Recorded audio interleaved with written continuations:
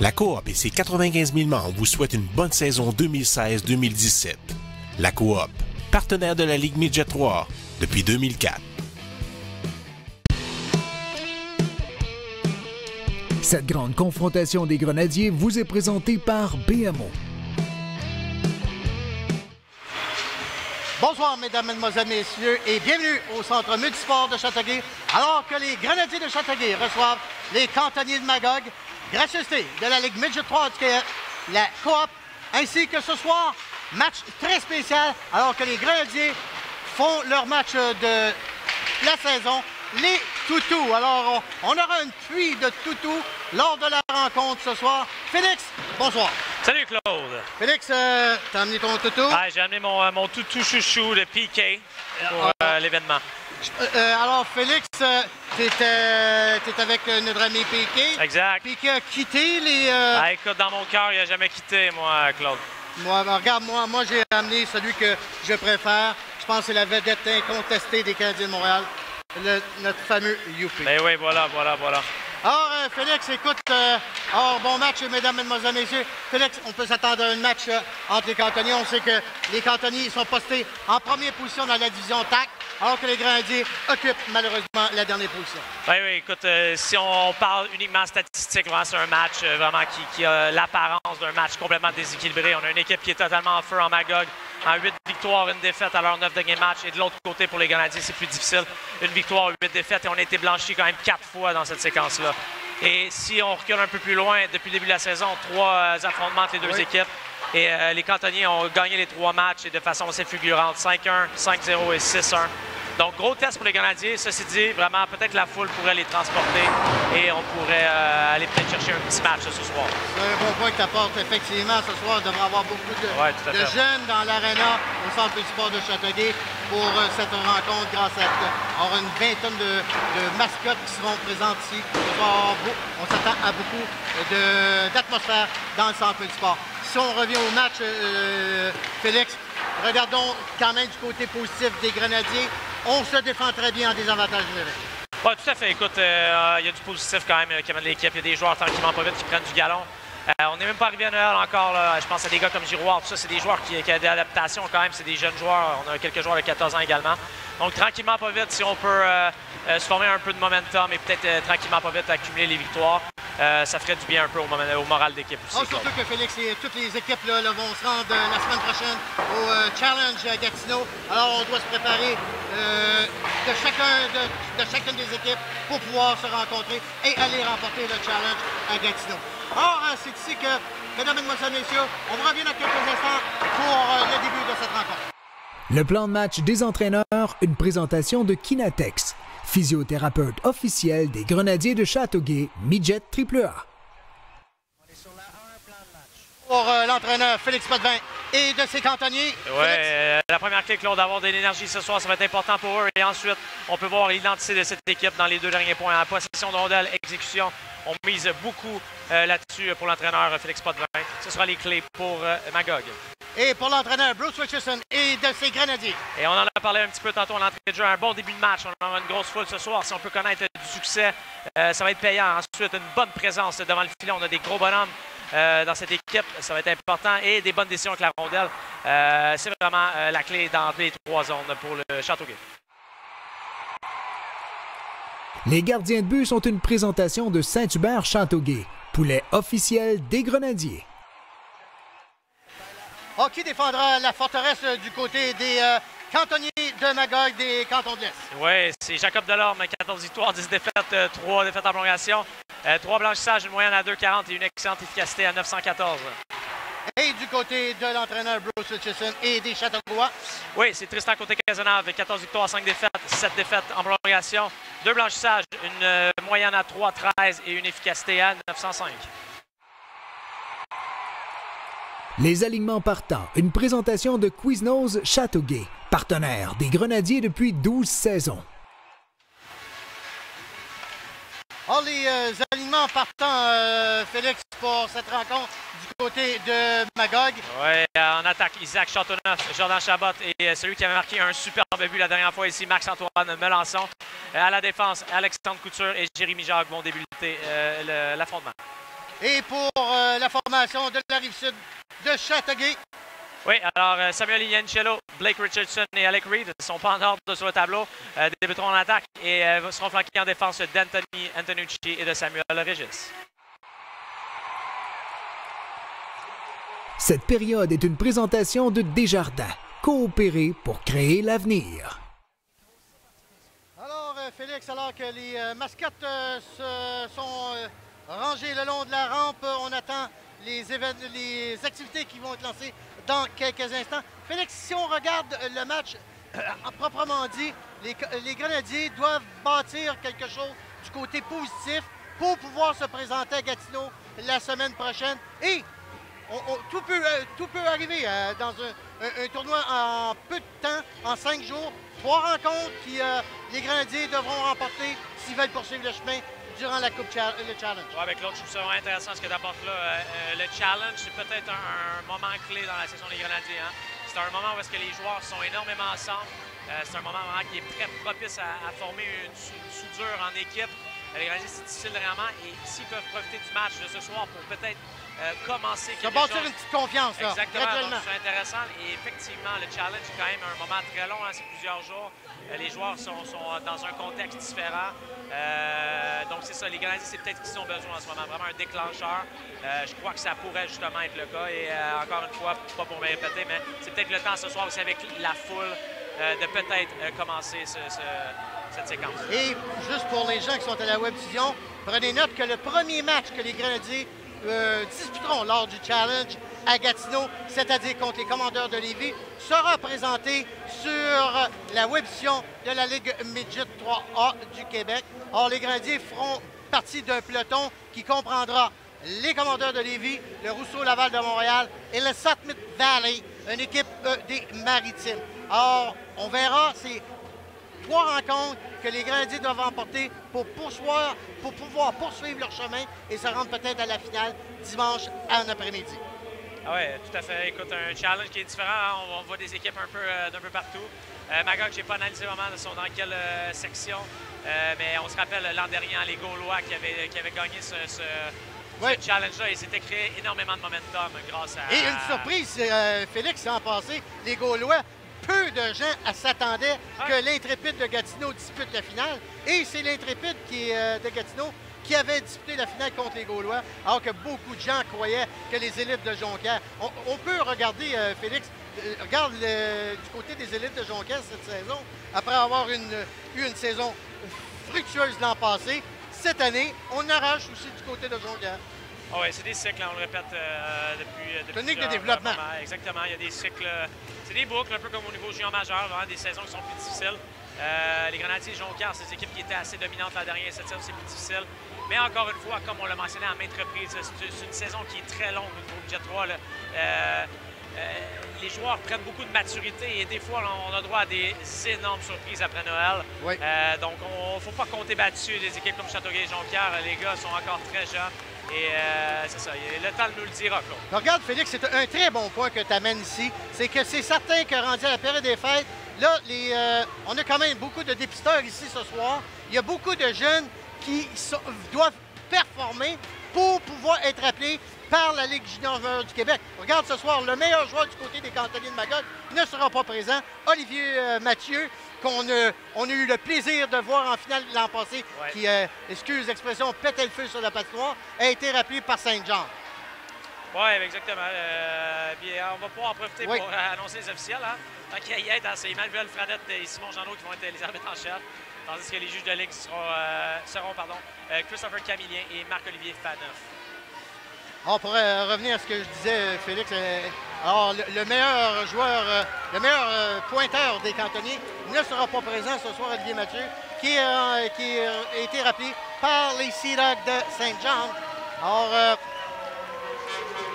on doit s'attendre à ce qu'il y a plusieurs joueurs qui vont quitter, qui vont être dans les, qui sont dans les derniers pas là, au niveau de la Ligue Midget 3 du Québec et qui quitteront pour aller évoluer dans la Ligue junior majeure du Québec après les fêtes. Oui, puis à mentionner aussi que euh, Magog, c'est pas, pas l'équipe d'Olivier Mathieu nécessairement. Non. C'est un excellent joueur de Absolument. hockey. Euh, mais c'est une équipe qui est, qui est formée sur quatre trios qui peuvent contribuer. Et les statistiques euh, le démontrent cette saison. Et euh, pour revenir justement à, à- à l'évolution des joueurs. Moi, le meilleur exemple, c'est Justin Bergeron, l'an dernier, qui a commencé comme joueur affilié dans les séries. Oui. Cette saison est tout feu tout flamme. là, comme, il a 22 points en 20 matchs, 8 points à ses 5 derniers matchs, et c'est un défenseur. Donc, euh, comme, euh, comme mentionné, vraiment, il y a des joueurs chez les Grenadiers qui, tranquillement, pas vite, vont pouvoir du galon, euh, comme ça a été le cas pour euh, les joueurs de Magog. Oui, parce que c'est évolue tellement. Moi, je me rappelle très bien, euh, Félix. L'an passé, on avait une. une- J'ai été faire une partie à Magog avec euh, Charles Olivier. Euh, on avait euh, Jacob Delorme, qui, qui est le gardien numéro un du côté des euh, cantonniers de Magog. Et ça avait été une catastrophe. Mais regarde, c'est le, le numéro un de la formation de Félix Potvin maintenant. Ouais, exactement, exactement. Le, le- le temps fait bien les choses souvent. Et euh, Claude, je voudrais pas que les téléspectateurs manquent ça, là, mais ce sera la- les danses des mascottes. Et moi, c'est un moment que, que je chéris énormément. Je suis juste un peu déçu que la mascotte de Quiznos ne soit pas là cette saison. Là. Non, on, malheureusement, tu dois. Tu devras te retenir pour cette saison. Et Grenade euh, qui fait sa présence euh, Ouais. sur la surface glacée. Grenade. Grenade, euh, un ours euh, bien vêtu. Et là, Félix, là, j'ai la, la- la question de l'heure. La question qui tue, comme on dit, à tout le monde en parle. Qui sera le compteur du côté des Grenadiers et en quelle période lorsqu'on recevra la pluie sur la surface glacée? Oui, euh, c'est vrai. hein, Je premier but dois Te- faut que tu te compromettes. Oui, oui, au premier but des Grenadiers, on le rappelle, euh, on va devoir lancer un toutou chez les partisans. Moi, je vais. Oh, pendant que justement la, la- la mascotte de poulet a fait une petite shot ici. euh, mais moi, euh, je crois que les Grenadiers ont marqué très tôt ce soir, Claude, surprenamment. Là. Je crois qu'à la quatrième minute, on va marquer. Et, Et- je crois que ça va être l'œuvre de Alec Reed. Alec Reed. Alec Reed. Ah, moi, je vais aller avec ma prédiction. Moi, je dis que ça va aller un peu plus loin que ça. Moi, je dis que ça devrait se passer à l'entour de la 13e minute avec un but de Giroir. OK, intéressant. 13 minutes, Giroir, dans ce bout-là. Intéressant, intéressant, Claude. De la première période. Tu as mentionné la première période. Oui, là. ben, moi, ben, aussi. Parce qu'oubliez pas, ça peut, ça peut s'éterniser aussi. Oui, ça euh, peut. Le délige peut arriver seulement en troisième période. on le souhaite pas, on le souhaite pas. On, on souhaite un but rapide ce soir. Alors que je que. Alors, c'est un match euh, qui, euh, qui est présenté grâce à, à la Ligue Midget 3 du Québec, la Coop TVGO, ainsi que ce soir, un commanditaire très spécial, la euh, banque, la BMO, Banque de Montréal. Alors qu'on s'apprête euh, dans quelques instants à avoir la mise en jeu. Les officiels sont sur la surface glacée. Alors, euh, une très belle foule, très belle foule ici à Châteauguay ce soir. Les gradins euh, du côté des Grenadiers, c'est rempli à pleine capacité. Alors, euh, on devrait franchir euh, les euh, 500 spectateurs ce soir. Excellent œil, Claude. Pendant que moi, je, je me régale euh, à regarder les mascottes. Moi, moi c'est un vrai plaisir. Et, euh, Euh, ma préférée, quelle est ta année- favorite ce soir? Ben écoute, l'année passée, je vous l'ai dit, à moi, c'est celle de Quiznos. C'est un espèce de, de verre en fontaine. Oui, oui. Euh, donc, elle n'est pas là cette saison. Donc, je vais, je vais, abattre mon choix sur l'espèce de poney écrit Sainte-Martine sur le, le ventre. Je la trouve attachante. Je trouve qu'elle bouge bien. Et je, suis, je suis pas mal sûr que l'humain qui, euh, Là, qui- je qui cherche. est Ouais, c'est le, le petit poney Oui, oui, je le sais. 24. mais- non, mais moi, j'essaie de savoir, elle représente qui? Moi, j'aime bien le. Sainte-Martine représentait euh, moi, ma- mon petit poney. Ça a l'air d'un chien, mais je ne sais pas ça représente qui. Celle à gauche, euh, Félix. Euh, Boum à Boum? côté de Boum Boum. Ah, Elle est belle, celle-là. ouais. C'est la caserne de pompiers, ça. Bon, on va aller avec l'illumination. euh,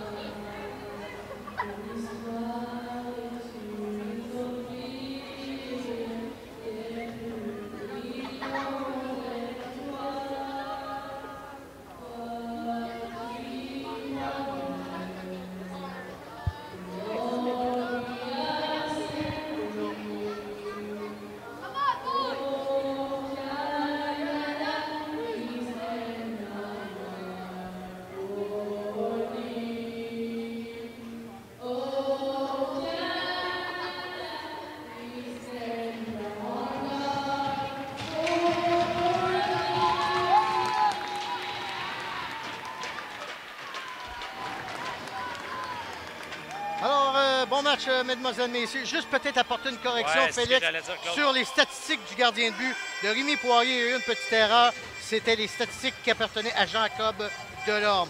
Alors, Rémi Poirier qui sera d'office devant la forteresse magogoise. Du côté des Grenadiers, on, on- Tristan Côté-Cazenave qui a été faire un léger séjour avec euh, les Tigres de Victoriaville dans la Ligue junior junior du Québec. Et de retour avec euh, la formation Châteauguard. Alors, bon match, mesdames, mesdemoiselles, messieurs. Alors qu'on on retire les tapis sur la surface glacée et on aura la mise en jeu dans quelques instants. Ouais, beaucoup de voyagements pour euh, Tristan Côté-Cazenave. Il avait Oui. fait beaucoup la navette euh, parce que le gardien de Victoriaville a été suspendu pour, euh, je crois, 7-8 matchs là-bas. Cette, cette rencontre. Cette rencontre. Donc, ça lui a donné un peu de glace là-bas en espérant qu'il puisse transposer euh, euh, vraiment le niveau de jeu du junior majeur ici au Jet 3 parce que c'est un gardien qui a été quand même assez dominant euh, depuis le début de la saison pour les Grenadiers. Ah, couture devant Richardson.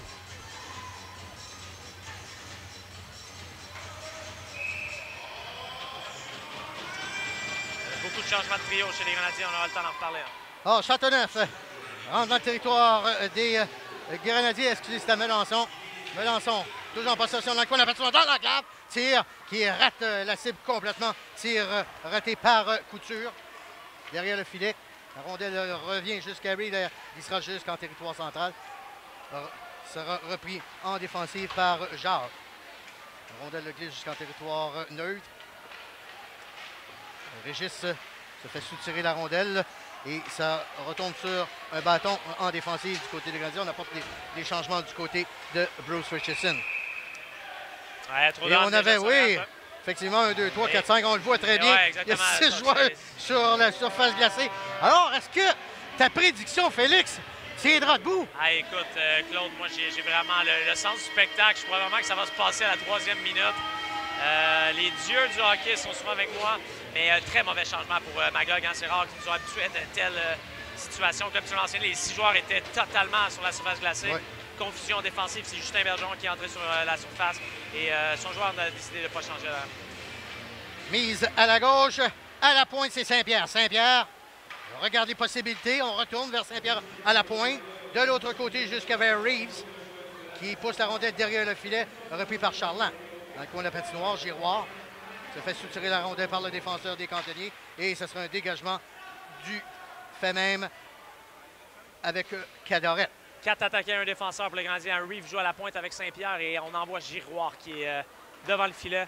Euh, J'aime bien cette stratégie. Charland, Charland. La rondelle était soutiante et un autre euh, dégagement pour la troupe de Félix Potvin. C'est côté Cazenave qui remet la rondelle à Lucas Reeves. Reeves jusque vers Lightfoot. Saint-Pierre, Saint-Pierre. Pousse la rondelle derrière le filet de Poirier. Lightfoot, Lightfoot contourne le derrière du filet vers l'enclave. Belle chance ratée par un grenadier. C'est Reeves. Reeves. Ah, Oh, Reeves, on devra attendre la sortie du joueur des cantonniers pour éviter le hors-jeu. Chose fait maintenant, c'est côté Cazenave.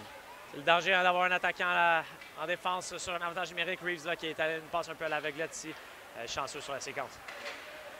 Les groseilliers euh, repris par un cantonnier, c'est Richardson. Richardson qui amorcera l'attaque du côté des euh, Grenadiers. Il est encore arrêté à la ligne rouge et on retourne encore une autre fois profondément dans son territoire.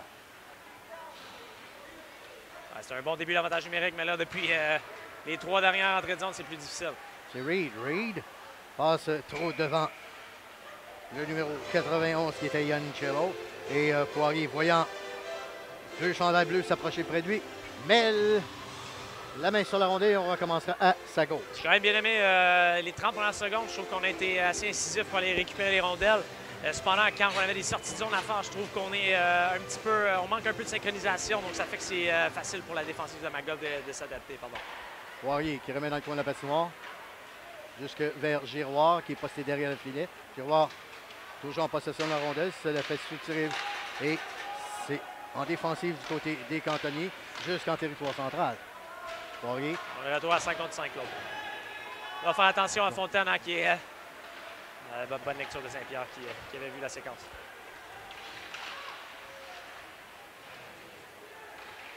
De la patinoire, un joueur des Grandiers qui a trébuché. La rondelle est sous lui, repris par les cantonniers. Toujours dans le territoire des cantonniers. Jusque vers Giroir. On devrait attendre la sortie de Giroir pour éviter le hors-jeu.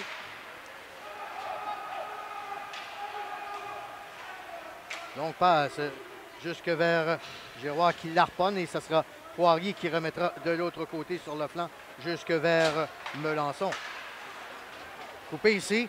Lightfoot. Lightfoot tire et arrêt de Poirier avec la mitaine. Et on recommencera à sa droite. Ouais, arrêt relativement facile pour le gardien de Magog, mais quand même, euh, donnons du crédit à Carl Lightfoot sur la séquence qui a bien coupé la zone neutre, intercepté une passe euh, du défenseur de Magog euh, pour ensuite prendre un lancer qui manque un peu de vigueur, mais quand même. Euh, Magog, il faut leur couper la zone neutre, absolument. Jusqu'à Régis à la pointe, on conserve la rondelle jusque vers Melançon. Melançon ne peut la capter, ça retourne en défensive. Jusqu'au numéro 77 Bergeron. Et, Melançon rentre dans le territoire des Grenadiers. La rondelle passe derrière le filet et ça sera repris par la défensive châteauguoise. Metcalf.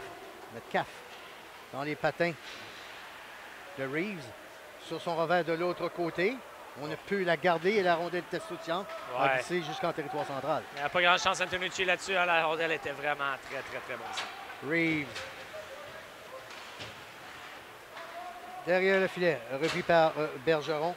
Bergeron sur le flanc, jusque vers Pinard qui n'a pu compléter le jeu encastré par Bergeron.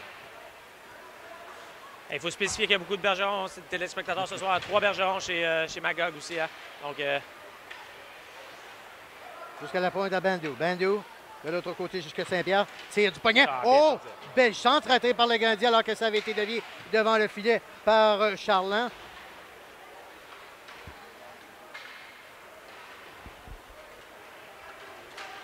C'est repris ici par Pinard. Pinard se fait harponner la rondelle par Saint-Pierre, l'amène dans le coin de la patinoire et est repris par euh, Châteauguay. Bon travail de Saint-Pierre.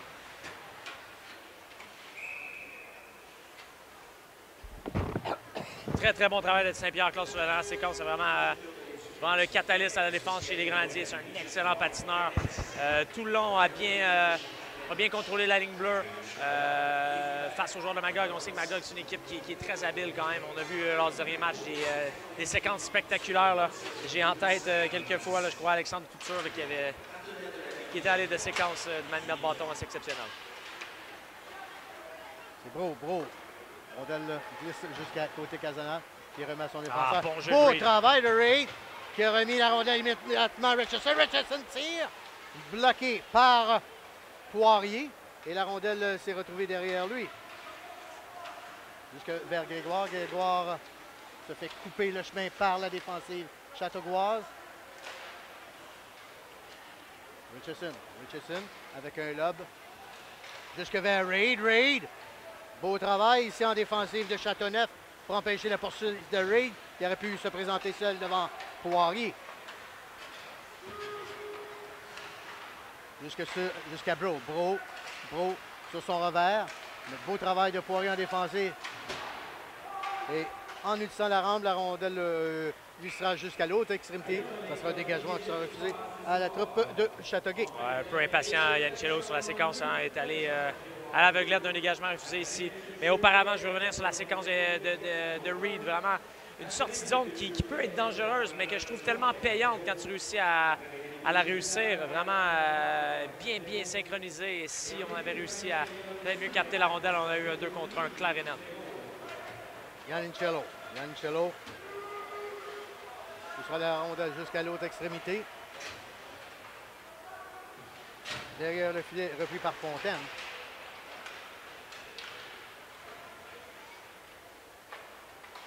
Bergeron sur la gauche, repris par euh, Giroir.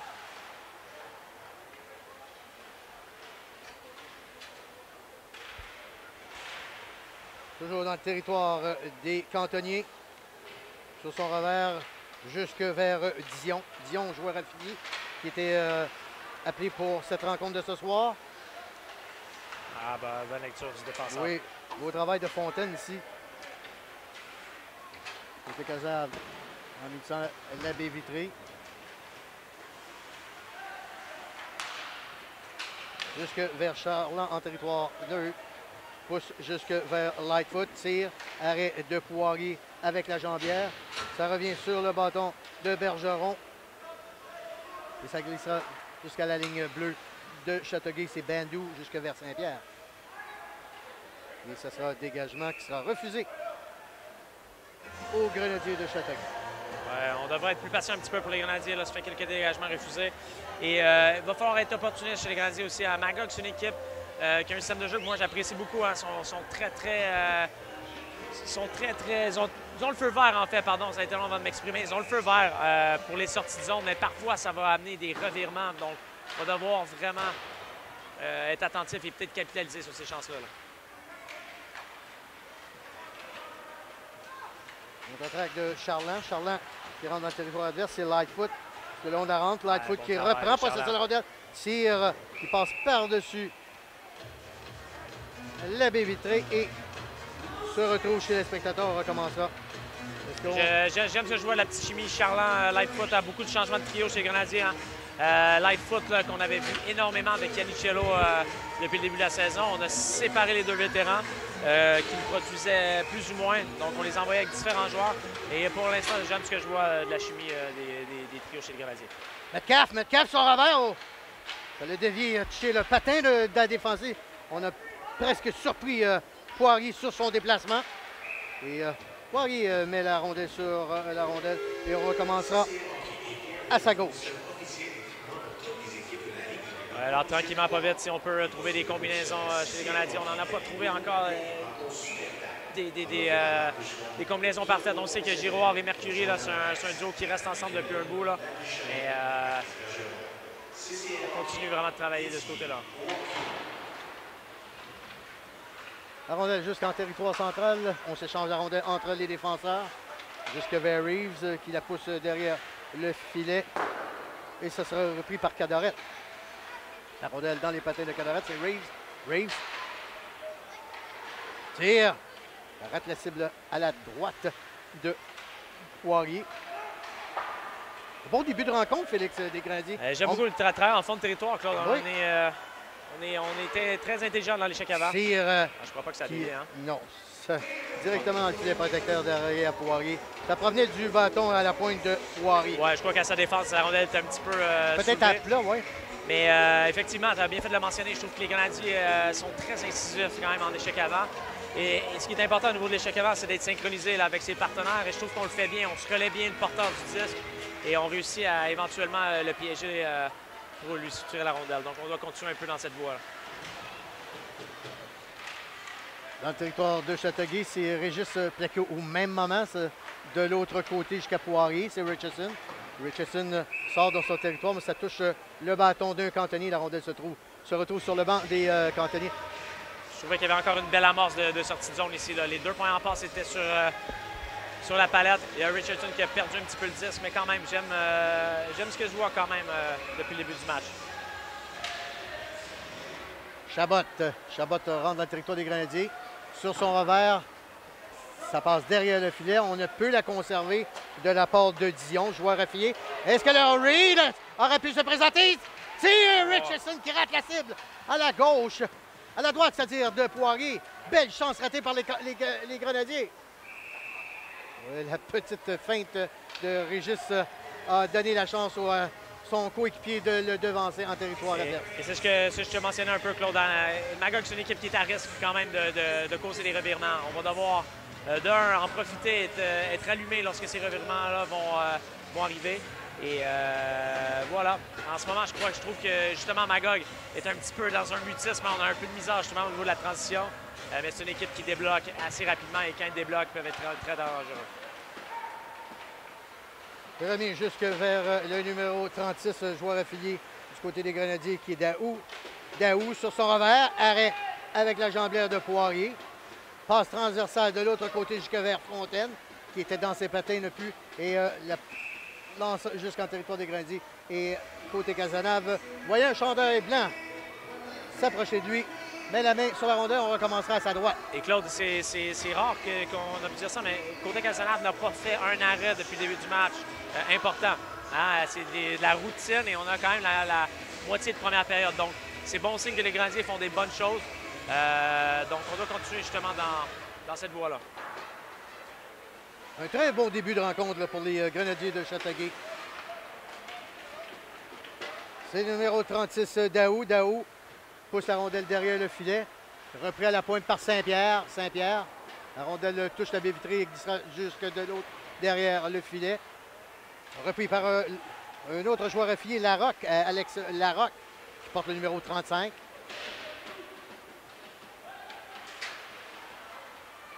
Repris du côté des euh, cantonniers par Graveline. Graveline qui se présente devant la défensive, mais doit affronter euh, qui était Saint-Pierre, n'a pu le contourner. Et on se réorganisa, derrière côté Kazan avec euh, Saint-Pierre. Saint-Pierre regarde les options disponibles. On va vers la gauche. Ça touche Melançon en territoire central. La rondelle entre les patins devant le banc des Grenadiers. Entre 5 et 7 joueurs. La rondelle se déplace euh, quelque peu.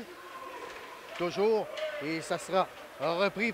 Et la rondelle glissera jusque dans le territoire de Magog qui est repris par le numéro 17, euh, Châteauneuf. Châteauneuf sur le flanc jusque vers euh, Melançon. Il la pousse derrière le filet. Rondelle dans les airs, repris par Couture. Couture qui remet derrière lui jusque dans le coin qui est Chabot. Repris par Saint-Pierre, beau genre défensif de Saint-Pierre. Et ça sera un dégagement qui sera fort probablement re- refusé à la troupe de Bruce Hutchison. On a vu une bonne séquence en zone offensive du numéro 21, Alexandre Couture. Moi, je trouve, euh, on a parlé tantôt qu'Olivier Mathieu n'était pas euh, là dans le match. Je trouve qu'Alexandre Couture a des similitudes avec euh, Olivier Mathieu. Hein. C'est deux excellents patineurs, deux gauchers d'excellents pieds. Et justement, avec cette vitesse et cette force d'accélération, souvent, sont capables de battre des défensives à eux seuls. Bergeron à la pointe et euh, repris par côté Casanave après avoir touché la rampe euh, Et derrière. Claude, lui. on va clore le débat là, hein, pour les Bergerons. Alors, il y a Justin Bergeron qui est un défenseur, d'un Mathieu Bergeron qui est une recrue et de Lake Bergeron. Euh, le joueur que vous risquez d'entendre plus souvent, ça risque d'être Justin Bergeron. D'ailleurs, moi, son histoire, je la trouve fascinante. Hein? Meilleur marqueur de son équipe. On se rappelle, c'est un joueur affilié en fin d'année l'an dernier. Il a même réussi, Claude, à se faire repêcher euh, junior majeur par Wayne Aranda. Donc, quand on parle de progression spectaculaire, le numéro 9, Justin Bergeron, on garde un œil sur ce joueur. Reeves entre les patins dans le territoire des Grenadiers. Le repris par un cantonnier. Tire. Arrêt de côté Casanave avec le plastron. La rondelle se rend jusque dans le coin à sa gauche. Se change de rondelle entre les joueurs. C'est Régis qui contourne le derrière de son filet et poursuit son chemin jusqu'en territoire central. Bonne séquence de Régis, vraiment. Là, a pris la rondelle, a pris l'espace qu'on lui a laissé et a amorcé la sortie zone à lui seul. Wow. Et ce sera une sortie de territoire, c'est Pinard. Pinard! Pinard tire! Arrêt de côté Casanave. Et euh, rappelons encore les euh, performances de côté Casanave l'an passé lors de la demi-finale. Or, euh, c'est un joueur, Tristan côté Casanave, qui a quand même le numéro des cantonniers. Ouais, on va pouvoir voir la reprise, Ouais, là, vraiment. Le joueur de Cantoni euh, s'est amené, mais Antonucci, on va lui donner crédit, a quand même coupé vraiment le temps de réaction de- de- du joueur numéro 47 euh, pour les cantonniers, qui en l'occurrence euh, Simon Pinard. Pinard, oui. Mais, tout ça avait été amorcé vraiment par un revirement quand même euh, désastreux là, de, de- de Reeves pour les Grenadiers, qui a vraiment mis euh, pendant qu'il va y avoir pénalité. Est-ce qu'on aura le premier pénalité du côté des c'est Grenadiers? Reed oui. qui va être chassé pour avoir fait trébucher. Régis, pardon, qui va être, euh, va être chassé pour avoir fait trébucher. Et juste pour revenir sur la chance, vraiment, la gars, comme je te dis, il y a eu manque de, de communication entre Reeves et Régis. Et pourtant, les Grenadiers avaient un match qui était vraiment parfaitement complété depuis le début de la rencontre, justement. Donc, on doit faire attention aux revirements qui pourraient nous faire extrêmement mal. Et attention à l'avantage numérique des cantonniers. Claude Antussé, deuxième de la Ligue à 25% Bergeron jusqu'à Couture. Couture remet jusque vers Grégoire. Grégoire tire. On visait de l'autre côté pour rejoindre Bro. Mais la rondelle était soutien. Il n'a pu être capté en défense par le joueur des cantonniers. Et ce sera un dégagement qui est euh, par le fait même par euh, des groseilliers qui retournent les cantonniers profondément dans leur territoire. C'est repris par Bergeron. Bergeron Attention à Bergeron, là. Bergeron se présente dans le territoire adverse. Bergeron contourne le filet. Bergeron Ah, remet à la pointe.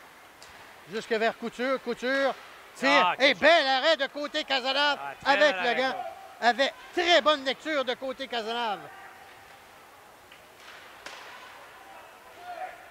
Alors, c'est un arrêt qui semblait anodin, il avait une redirection Oui. complètement dans l'enclave et a fait euh, passer cet arrêt pour un arrêt de routine, mais Je sais n'était pas pas si on, pourra avoir la chance de l'avoir en reprise tantôt, euh, Félix, mais c'est tout un arrêt de côté Casanave sur un déplacement de gauche vers la droite.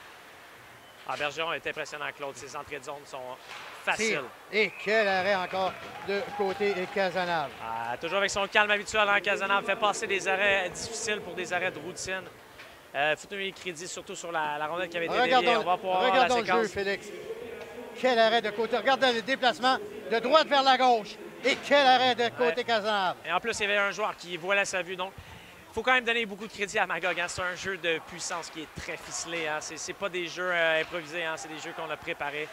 Et euh, qui sauve les meubles euh, en ce moment. Oh, toujours en avantage numérique avec euh, 25 secondes à faire à l'avantage numérique des cantonniers. À la pointe. Jusque vers Pinard. On essaie d'immobiliser la rondelle dans le coin de la patinoire. On égrène les dernières secondes de cet avantage numérique du côté des Grenadiers. C'est des groseilliers. Derrière. Remet à contre-courant de la part de Melançon. Même chose de Pinard. Pinard Ah, bon et. Beau travail. Et on est à sur Cadoret. 55. Metcalf. Metcalf. Et le coin. Arrêt de Poirier. Alors que sur un lancé anodin, tire de la pointe, arrêt de Poirier.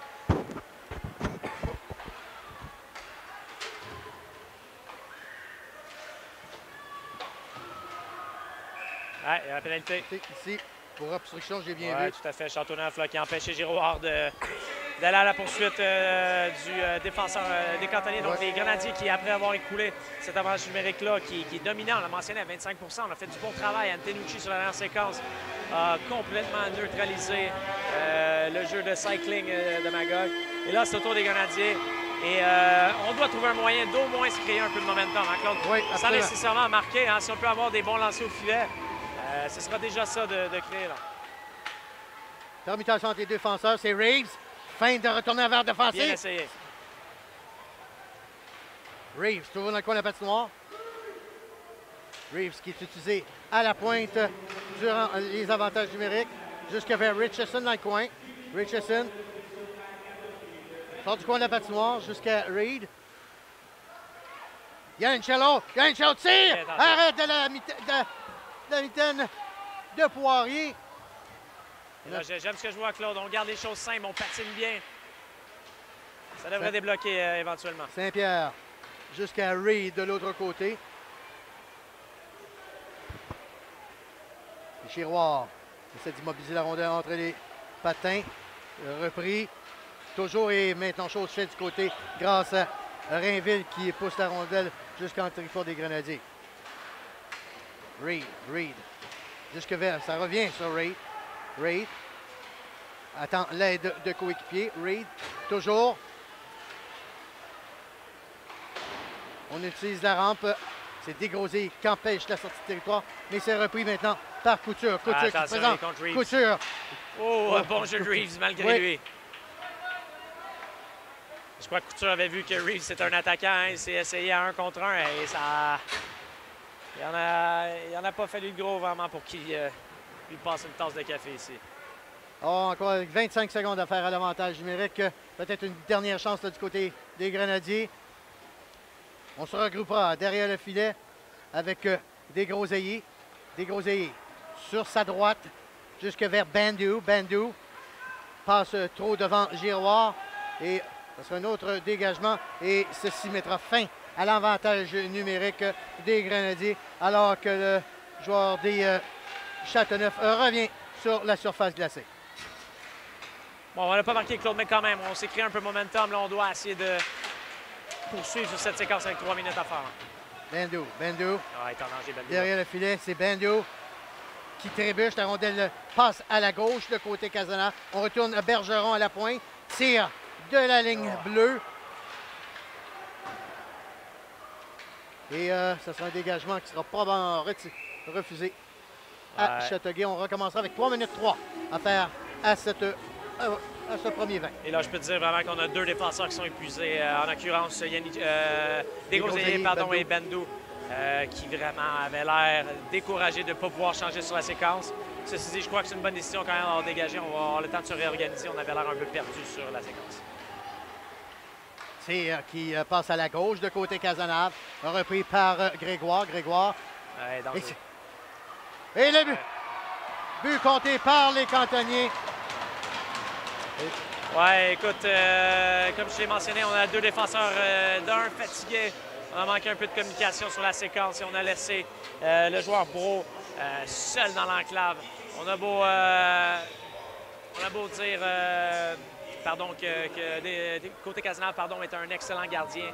Euh, mais ça va être très difficile à en pour, pour Oui. voir la reprise. De donner autant de temps à un joueur dans l'enclave. Écoute, Bro, quand même, il faut lui donner crédit, a changé environ trois fois l'angle de lancer. Il a trouvé finalement une faille dans le gardien des Canadiens. Bro a attendu que côté Casanave se, se bouge en premier.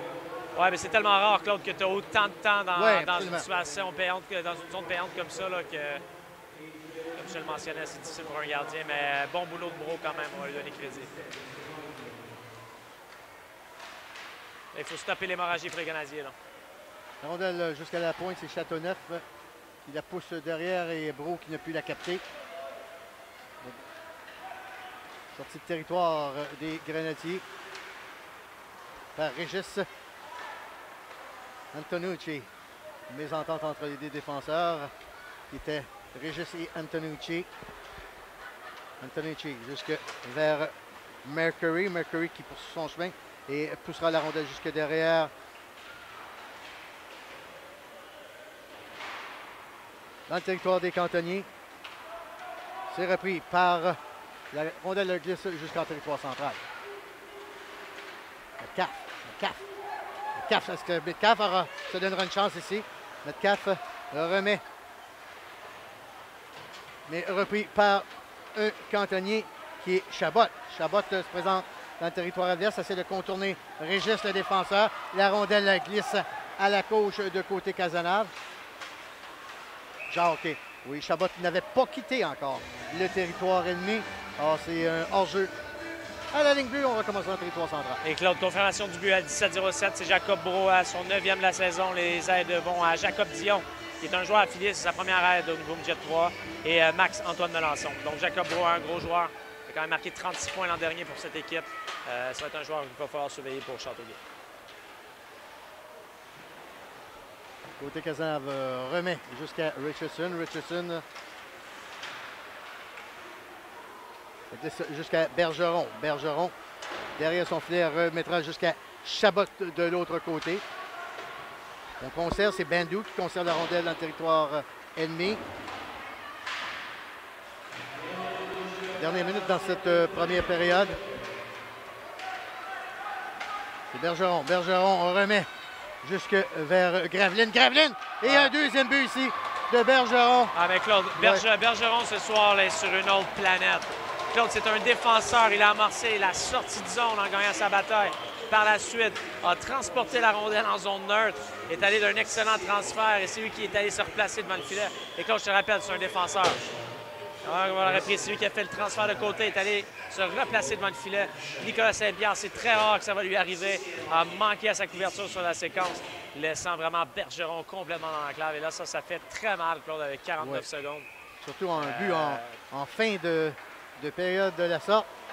Mais très impressionné encore une fois. La première période de, Bergeron à la défense, c'est spectaculaire.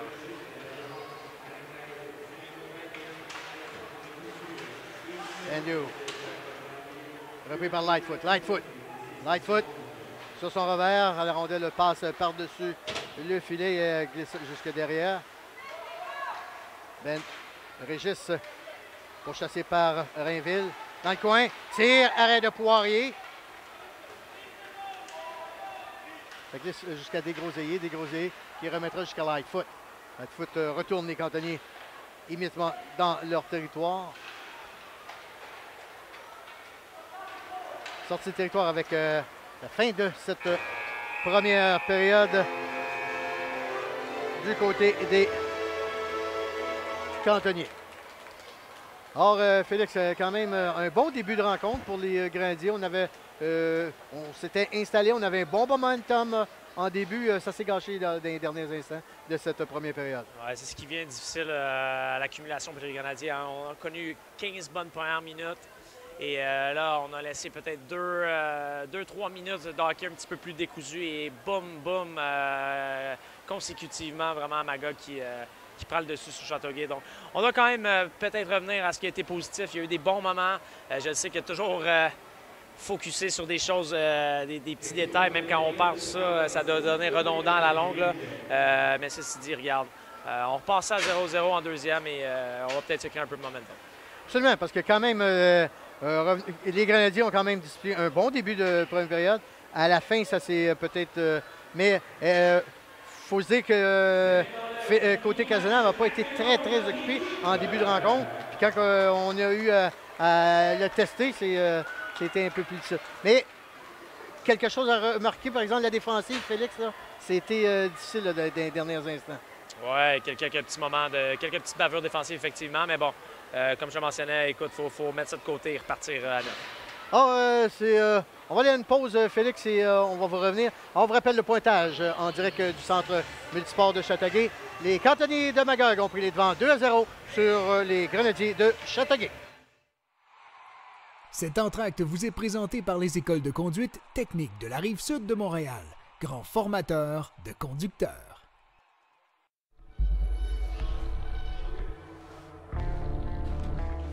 Les gens disent que je suis déterminé. J'espère qu'ils voient mon travail acharné et ma ténacité. Mais s'ils regardent plus attentivement, ils réaliseront qu'à chaque coup de patin, à chaque fois que je prends un lancer, et à chaque fois que la foule se déchaîne, il n'y a rien que j'aime mieux que de jouer au hockey. Je m'appelle Sidney Crosby et je suis dédié au hockey.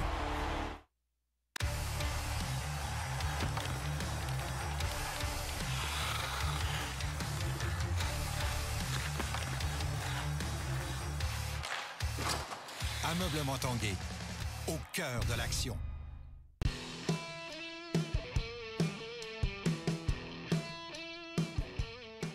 La Coop et ses 95 000 membres vous souhaitent une bonne saison 2016-2017. La Coop, partenaire de la Ligue Midget 3 depuis 2004.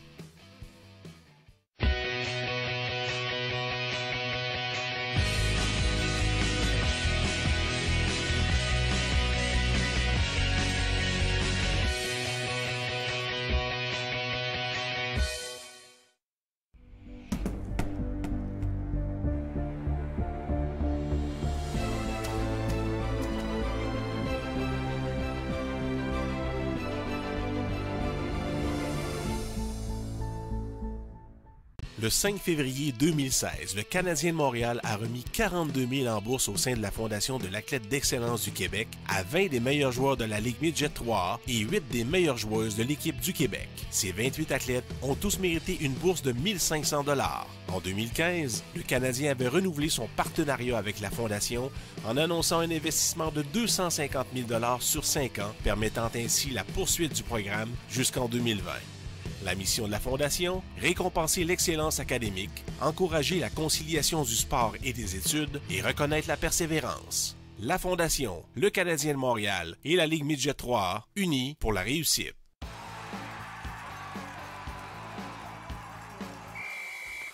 À mes côtés, l'entraîneur-chef des cantonniers de Magog, Félix Podvin. Félix, comment ça va? Ça va bien, toi? Ça fait longtemps qu'on s'est vu, Félix. Euh, parle-moi un petit peu, depuis qu'on s'est vu du côté euh, des Riverains du Collège Charlemagne.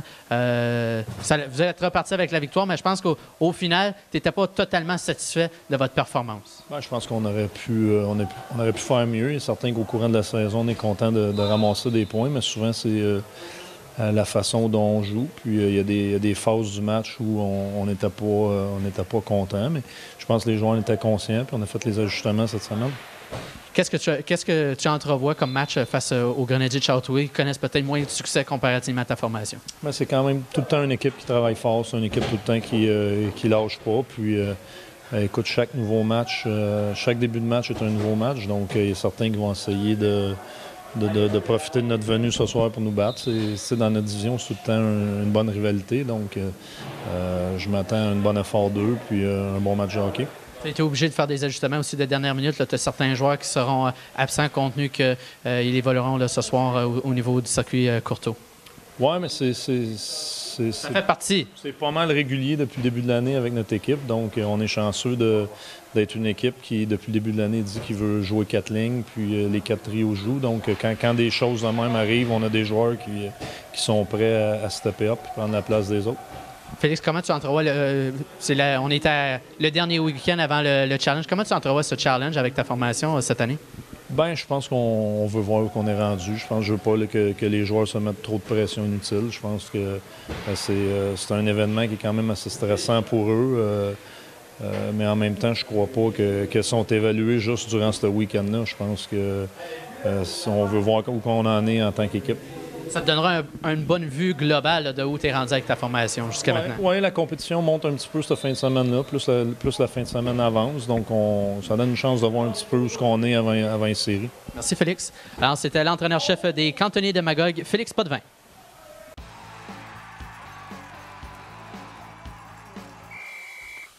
À mes côtés, l'entraîneur-chef des Grenadiers de Chantauguay, Bruce Richardson. Bruce, comment ça va? Ça va bien, ça va bien.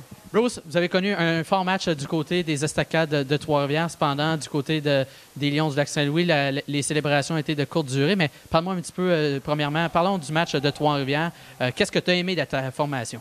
J'ai très aimé qu'on ait respecté notre notre structure, notre game plan, comme on dit en anglais. Je pense que les gars ils étaient vraiment, euh, ils avaient vraiment acheté qu'est-ce qu'on leur avait vendu, puis euh, on a compétitionné. Nos unités spéciales ont fait la job, puis le gardien aussi. Euh, de, du côté contre les Lions, je pense que ça a été un manque d'opportunistes en début. Là, les chances de compter étaient 9-4 pour nous autres en première, puis quand tu rentres après la première période, c'est 2-0. J'ai vu un peu de frustration, puis les gars étaient un peu déçus de la situation. Est-ce est-ce que tu veux utiliser justement la victoire des estacades de trois pour la, rapporter finalement dans les prochains matchs? Est-ce que c'est quelque chose que tu veux capitaliser? Mais cette année, on essaie de travailler vraiment le moment présent. Euh, dans, le passé, là, je veux dire, euh, on peut pas, on peut pas commencer à, penser quand on perd des games ou gagne des games. On veut vraiment vivre le moment présent. Là, présentement, on va se concentrer sur aujourd'hui. On est à maison. Euh, ça fait longtemps qu'on n'a pas joué à maison. Il va y avoir beaucoup de monde dans l'aréna ce soir, là, vu que c'est la soirée des toutous. Fait que, on veut donner un bon spectacle. On veut que les gars compétitionnent. Puis d'habitude, quand tu compétitionnes, d'habitude, le, résultat, il est là. Les résultats, n'ont pas été là, là, dernièrement pour nous autres. on l'avait dit au début de l'année que c'était pour être une saison d'apprentissage. L'important, c'est d'être meilleur à la fin de l'année, même au challenge. Puis on voit quand même que les gars, ils abandonnent pas puis ils sont combatifs. Euh, on va commencer à être frustrés puis euh, fâchés en tant que groupe d'entraîneurs euh, quand, que, mettons, les jeunes ne compétitionnera pas. Mais je peux te dire qu'ils compétitionnent depuis le début. Très rapidement, le, challenge approche à très, à très grand pas. Comment tu l'entrevois, ce challenge? Bien là, comme je te dis, on va se concentrer pour le moment présent, mais c'est tout le temps une expérience le fun euh, d'aller dans, le milieu de la, saison puis vraiment là, avoir un, niveau de compétition où il y a un enjeu, où il y a un trophée que tu peux gagner. Jouer beaucoup de matchs en peu de jours aussi. Exact. Puis la dernière affaire aussi, c'est bon pour les jeunes aussi de se faire voir. Et puis, euh, de, les, les jeunes, tous les dépisteurs sont là. Fait que c'est quand même un événement spécial pour tous les joueurs. Merci Bruce, bon match. Alors, c'était les commentaires de l'entraîneur-chef des Grenadiers de Châteauguay, Bruce Richardson.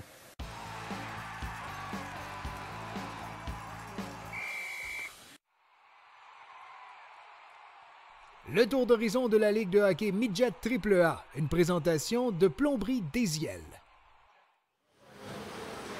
Alors, nous sommes de retour au Centre Multisport de Châteauguay pour cette première portion d'entraque. Sébastien, après 20 minutes de jeu, la marque est de 2 à 0 en faveur des cantonniers de Magog et la formation de Félix Potvin. Si euh, on regarde en perspective la formation de Félix Potvin, quelques absents de taille, dont Olivier Mathieu, euh, qui qui évolue avec les Sea Dogs de Saint-Jean, qui affronte l'ancien entraîneur des Grenadiers de Châteauguay, Steve Hartley, actuellement. Avec les voltigeurs. Là, Effectivement. Et puis, euh, euh, certains, euh, certains écopés, autant au niveau des de suspensions, soit de blessés, on a des joueurs qui ont gradué pour quelques matchs. Alors, on a quelques éléments importants du côté de, de Magog qui sont absents, mais au-delà des absents, on est quand même deux buts en avance sur la troupe de Châteauguay. Et en même temps, on a Grenade euh, derrière nous. C'est sa célébration aujourd'hui avec le, match des Toutous et Mascotte. Mais le, premier but, le, but des Grenadiers. Oh, oh, oh. un postillon.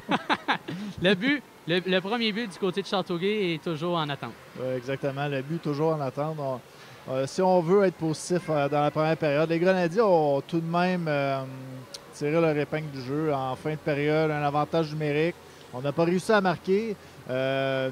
Euh, deux petites erreurs de concentration, disons, là, qui ont mené à des buts des cantonniers, des Et- joueurs laissés seuls euh, devant le filet, les défenseurs. Et c'est- intéressant que tu le mentionnes parce que les deux buts nous ont amenés à deux erreurs en défensive.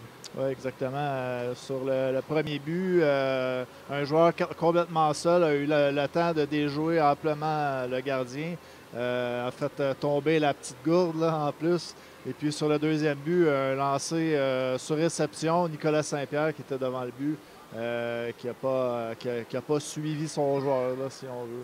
Un élément intéressant cependant, c'est que euh, Alec Reed est de retour dans la formation du côté de Châteauguay. Lors du dernier match euh, du côté euh, euh, du centre multisport, si je m'abuse, il était absent, euh, Alec Reed. Un élément important. Et un autre élément aussi important, Tristan Côté-Cazenave est de retour avec la formation alors que euh, la- les suspensions du côté de Victoriaville au niveau des gardiens de but est maintenant écoulée. Alors, euh, deux, bons éléments que Bruce Richardson peut peut compter sur. Oui, peut compter mais, sur eux. Mais bon, là, on est toujours à 2-0. On aimerait, on aimerait dire les matchs se suivent et- mais ne se ressemblent pas, mais malheureusement, euh, Oui. Et puis, un autre élément, c'est que du côté de Châteauguay, on a réussi à remporter un match convaincant par la marque de 2 à 0 face aux Estacades de Trois-Rivières. Je pense qu'on a causé surprise de ce côté. ouais, Mais ben, au-delà de cette victoire, les célébrations ont été de courte durée parce que quelques jours plus tard, on, su- on- on subissait le revers de 7 à 0 quand même. C'est quand même...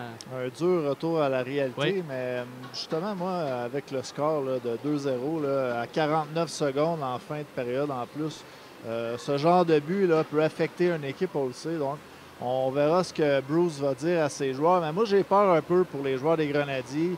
euh, qu'on retombe euh, dans le même pattern, si on veut. Là. On se fait euh, marquer, euh, l'adversaire marque le but en premier, Oui. puis on se laisse aller tranquillement. Sébastien, tu connais assez le hockey pour, pour me dire que le premier but est toujours important de marquer toujours le premier but. Puis lorsque ça fait plusieurs matchs que tu n'inscris pas de but, ça devient plus difficile. Oui, exactement. Et on, on- on- c'est comme une roue qui tourne, là, finalement. Donc, on voudrait euh, euh, marquer le but. Là. On ne sait jamais. En, en début de deuxième, là, les, Grenadiers, les Grenadiers marquent, brisent la glace. Et Ça, change la donne. ça- on peut prendre un momentum. On ne sait jamais qu'est-ce qui peut arriver. Et moi, je suis persuadé, Sébastien, que le prochain but des Grenadiers de Châteauguay à la maison enlèvera un très gros poids sur les épaules. Parce que là, en date de maintenant, on est à 10 périodes complètes sans marquer de but à Châteauguay. C'est quand même, euh, c'est quand même important. Là. Moi, je pense que le premier but, le, prochain but du côté de Châteauguay à la maison va, calmer le jeu et va, enlever, va amener une certaine dose de soulagement, autant pour les entraîneurs que pour les joueurs. hein. À un certain moment donné, qu'on le veuille ou non, ça joue sur le mental. Oui, on, on parlait des matchs euh, importants aussi. C'est le match des toutous et mascottes aujourd'hui. Donc, pour les partisans, c'est doublement important. Oui, Ils, veulent, effectivement. ils veulent lancer leur toutou sur la glace. Et il faut dire, au cours des dernières saisons, les Grenadiers ont toujours réussi à marquer un but. Cependant, la, la saison, la- lors de la saison championne de la saison 2015 avec Steve Hartley euh, à la barre des euh, Grenadiers de Châteauguay, le- on, a- on avait dû attendre jusqu'en troisième période pour marquer un premier but pour terminer la marque 5 à 1 en faveur des Estacades de Trois-Envers. Les Grenadiers n'ont jamais été blanchis dans ce match. Alors, ça sera intéressant à voir, euh, Sébastien. Mais quand même, le Challenge Midget 3 dans quelques jours. Euh, ça serait bien de- d'aller vers Gatineau avec une victoire.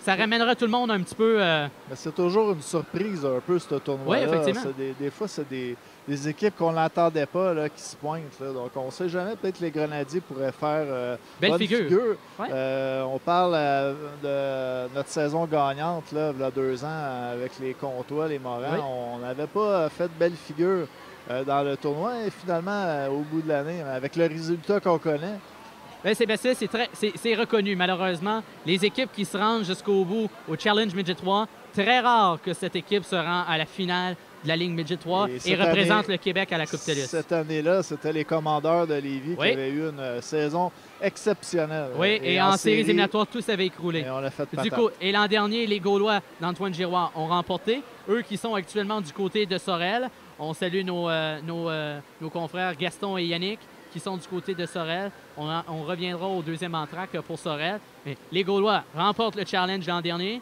Et puis finalement, on ne se rend pas plus loin qu'à la demi-finale. Oui, exactement. Donc, on ne sait jamais. La seule chose qu'on peut faire, c'est bien se préparer, que les joueurs euh, euh, travaillent fort. Mhm. Et puis, euh, Et tu sais comme moi, euh, que autant au mondial junior, que ce soit peu importe, ou dans des, des- des tournois comme le Challenge 23, un match, tout peut arriver. On le sait, Châteauguay, mathématiquement, Châteauguay en 2015 aurait ren- dû remporter la Coupe TELUS à Rivière-du-Loup. En un match, le Young National de, de Toronto, Toronto, ouais. les, les a surpris. Puis on est reparti bredouille euh, de la Coupe TELUS. Dans un, dans un match, tout peut arriver. Et c'est très rare que ça peut arriver que euh, de temps en temps, une équipe se faufile jusqu'au au fil d'arrivée. on ne sait jamais, mais euh, la confiance a joué pour beaucoup. Ah oui, ah oui. Euh, si on parle à ce tournoi-là, les Grenadiers, c'est peut-être un excès de confiance. Tandis que euh, en ce moment, on a peine à, à trouver de la confiance. Et il faut travailler sur les choses positives. Euh, on travaille fort. Euh, Si on peut provoquer des choses, des, gros- des grosses mises en échec, euh, pour commencer la deuxième, euh, ça, Et, ça serait bien. Et euh, je parlais avec Bruce Richardson en, euh, hors caméra, même lorsqu'on a fait l'entrevue d'avant-match. Quand même, avec, avec Bruce, au-delà du pointage de 7 à 0, il trouvait quand même que la formation des Grenadiers avait bien joué dans son ensemble, dans le sens qu'on n'a pas réussi à capitaliser. Le gardien a, été sensationnel, mais les Grenadiers ont eu plusieurs chances de rater, dont euh, un but ou deux de Alec Reed. Des Alors- fois, les, les résultats ne viennent pas, mais on voit quand même une évolution là, chez Oui, oui. les jeunes Mais, joueurs. là. mais Sébastien, tu seras d'accord avec moi qu'il faut quand même trouver une façon de marquer des buts. Ouais, L'important, au bout de la ligne, c'est les résultats. tu peux avoir le meilleur gardien de but, mais quand même. Alors, Donc, euh, on nous- on je nous sais pas, euh, aller, est-ce qu'on est, me dit qu'on est prêt à aller? Oui, alors euh, Sébastien, on se retrouve euh, lors du deuxième entraque. Alors on s'en va pour le jeu de la période en vous rappelant la marque 2 à 0 pour les commandeurs de Lévis. Donc, si j'achète un barbecue à 499 et qui me revient 4% en argent Canadian Tire parce que j'ai utilisé ma carte Mastercard Option, qu'est-ce que je peux aller chercher gratuitement? Michel? Des ustensiles de barbecue. Très bon exemple. Sinon, je peux accumuler et m'offrir... euh, oui. La souffleuse à feuilles dont j'ai envie. C'est ça. Parce que ne pas utiliser votre carte Mastercard Option... C'est comme jeter de l'argent par les fenêtres. Voilà. Qui a lancé ça? La carte Mastercard Option de Canadian Tire. Plus encore de notre magasin. Le jeu de la période vous est présenté par Vidéotron, le super club de Châteauguay. De la période, Félix, euh, le but de- des cantonniers, le deuxième. Ouais, ça a été amorcé par Justin Bergeron qui a fait la sortie de zone, l'entrée de zone, et c'est lui qui a eu la vigilance d'esprit d'aller se poster devant le but pour rediriger le disque. C'est le jeu de la période euh, pour cette première période. Le joueur des Grenadiers qui avait perdu son homme complètement. Oh, qui était le numéro. Alors, euh, on va aller avec- Donc,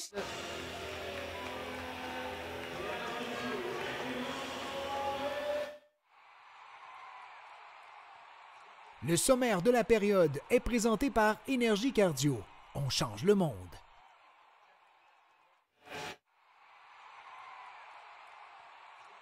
Cette période est présentée par Desjardins. Coopérer pour créer l'avenir.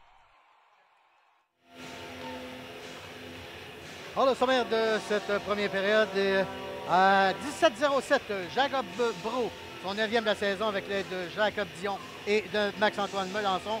Et quelques deux minutes plus tard, Justin Bergeron euh, élargit la marque à 2-0 et son neuvième de la saison à 19-10 avec Alexandre Couture et Jacob Graveline. Les punitions pour Magog 2, tirs au but de 6. Et du côté des Grenadiers, une pénalité avec 8 tirs au but sur euh, Rémi Poirier. Alors, la deuxième euh, période euh, se mettra en branle dans quelques instants. Alors, important pour les Canadiens, Claude, dans cette deuxième période, vraiment effacer ce qui s'est passé en fin de première. On repart à neuf, on focus sur ce qui s'est bien passé. On a fait du bon échec avant en général. On était bien synchronisé, justement, incisif euh, sur cet échec avant, justement. Donc, on doit continuer un petit peu dans cette optique-là. Et euh, probablement qu'au compteur, éventuellement, on va réussir à en mettre un. Ah, Couture devant Richardson. Les enjeux remportés par Richardson. Ça glisse jusqu'à Régis. Bonne sur la gauche. Et euh, joueur des Grenadiers euh, qui euh, perd pied en entrée de territoire adverse. C'était euh, le numéro 91, Yannicello. Raid, Raid derrière le filet. Couper euh, le chemin par Bergeron et la rondelle glisse jusqu'en territoire central. Repris par Richardson. Et en poursuite, Reed sur un cantonnier plaqué au même moment. Jusque sur euh, la gauche, jusque vers Bergeron. Bergeron jusqu'à de côté Casanave. Rondelle glisse jusque en territoire central et euh, repris par Rainville. Rainville le pousse la rondelle jusqu'à l'autre extrémité. C'est repris par Régis derrière son filet. Rainville jusque vers Graveline. Dans l'enclave, tir de la ligne bleue de Bergeron qui rate complètement son tir. Graveline posté euh, derrière le filet des euh, Grenadiers. Ça, en utilisant la rampe, on, on enverra la rondelle jusqu'en territoire central à Rainville. Et oui, on été devancé lorsque Gravine a lâché la. Ben écoute, je, crois qu'il a déjà ses deux propres joueurs. Il avait hors-jeu à deux joueurs. Rainville qui est allé d'une bonne séquence au niveau des mains ici. Euh, mais vraiment, il aurait dû pousser le disque peut-être en zone euh, offensive pour éviter à ses joueurs justement d'être en jeu. Bonne première présence quand même, je vais le mentionner, hein, de Reed Yannicello. J'ai aimé euh, comment on a patiné, on a frappé, on est allé récupérer des rondelles. Donc voilà, c'est du positif pour ces joueurs vétérans. Bendu. Bendu se fait suturer la rondelle par couture jusqu'à Bergeron à la pointe de tir. Bloqué en défensive. En utilisant la rampe jusque beau travail en défensive de Châteauneuf.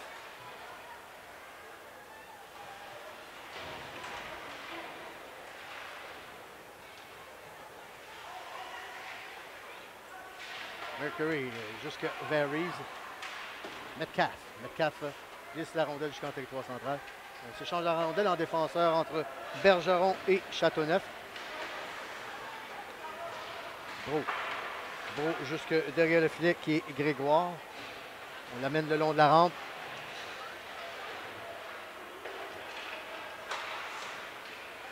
Bloqué en défensive. Est-ce qu'on aura une, une attaque du côté des Grenadiers? Oui. Sur Mercury. Mercury jusque vers le numéro 87 euh, qui était Metcalf. Contre-attaque des cantonniers. Et euh, la rondelle avait sorti Ouais. de quelques centimètres. Le vigilant, le juge de ligne qui a bien- vu, mais effectivement, il y avait hors-jeu sur la séquence. On doit faire attention chez les Grenadiers. J'ai euh, j'ai dénombré déjà trois, trois fois où, lors de la sortie de zone, on a simplement donné la rondelle à Magog. Et Magog, c'est une, c'est une équipe qui veut la rondelle.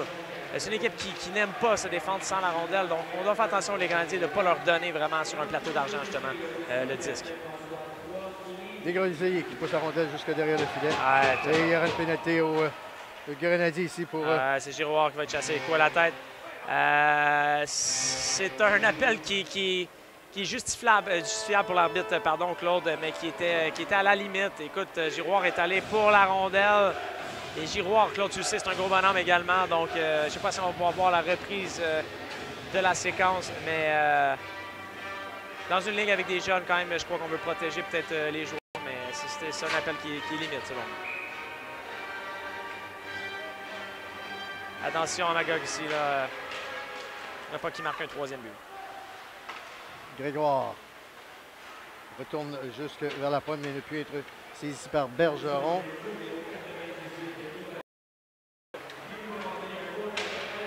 Vers Bro. Bro premier sur la rondelle. Reprend défensive. Il y a Ouais, une a pénalité. au cantonnier ici. C'est Lightfoot. Lightfoot. Ah, bon travail. Beau travail. Est-ce qu'on pourra se donner une chance ici? Ah, aïe. Chance ratée par les Grenadiers. On aurait pu rétrécir la marge. Ah, ben, grosse séquence pour les Grenadiers, vraiment.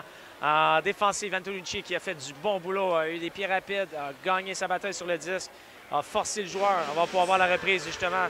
Euh, en ce moment, on va voir la reprise de la sortie de zone là, ici, euh, qui, est arrivée après, euh, justement, la pénalité à retardement.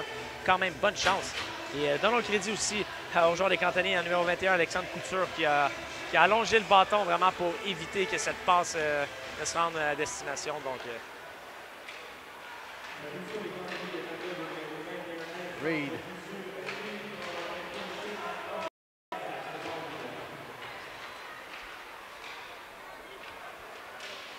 Tout se déroule dans le territoire des cantonniers. Jusqu'à Reed derrière le filet. Reed, Reed.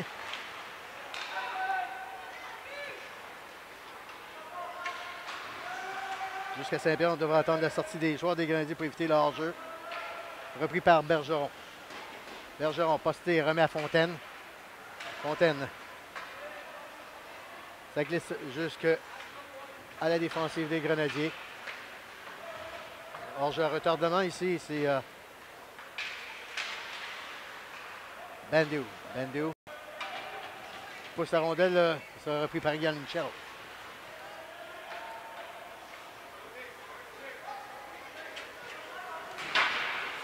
Bergeron sort de son territoire Bergeron.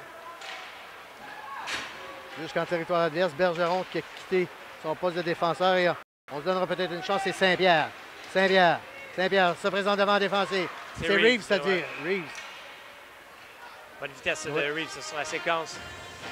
J'aime, euh, Claude, j'aime beaucoup euh, l'énergie euh, déployée par les Grenadiers en, en début de deuxième. Je trouve que euh, j'aime ce que je vois de Giannicello. Termine ses mises en échec, mais c'est des mises en échec pour gagner la balle sur le 10 pendant qu'on voit la séquence de Reeves qui est allé de, de plusieurs moves d'épaule plusieurs séquences de mouvements d'épaule, pardon, vraiment succédé, donc ça aurait pu fonctionner, mais bon travail du défenseur qui, euh, qui, a, joué l'homme euh, en totalité. Châteauneuf jusque vers Cadorette en utilisant la rampe.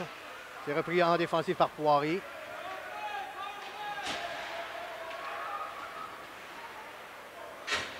Poirier avec la rondelle dans son territoire. Il remet jusque derrière lui qui est euh. Dégroseillé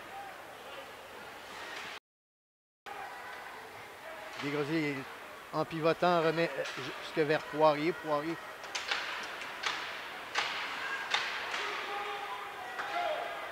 Donc, euh, la pénalité des Grenadiers, c'est un avantage numérique de encore pour deux secondes.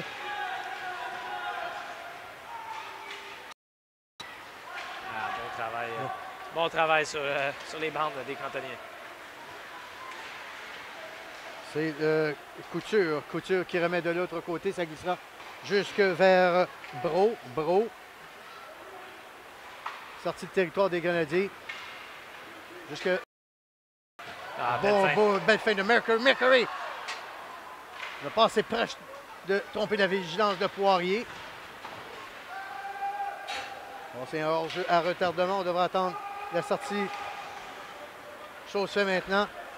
Jusque vers Bro. Bro passe trop devant Grégoire qui n'a pu la capter. C'est Grégoire qui la reprend derrière le filet, mais repris par un grenadier qui est euh, Régis.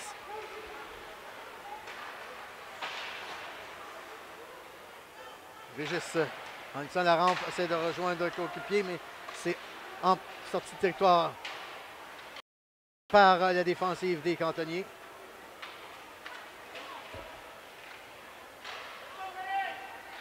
Jusqu'à la pointe. Tire de la pointe, ça passe et arrêt de côté Cazenave avec euh, la mitaine et on recommencera à sa gauche.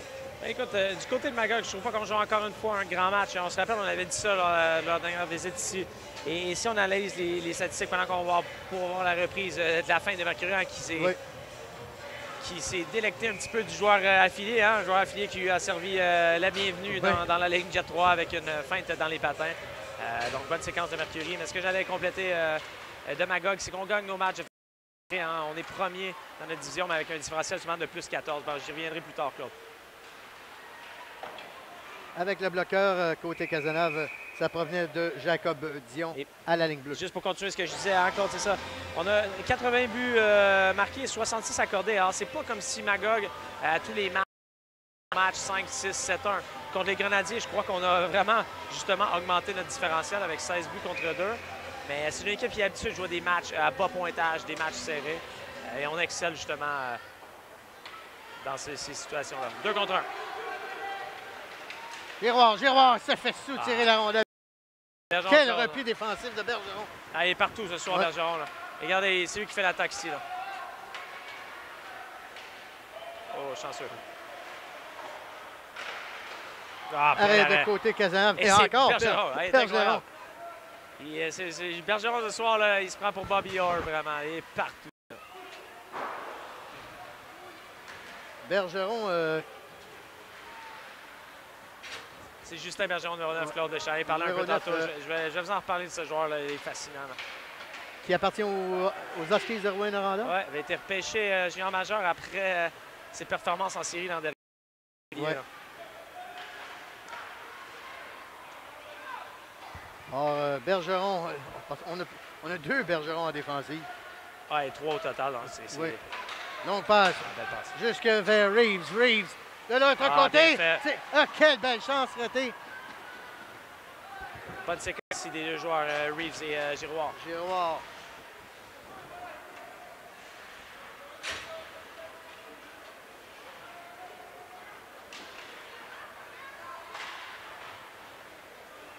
Or, euh, Félix, euh, l'appui de Toutou se, C'est ouais, se, se, se fait un se peu. fait attendre.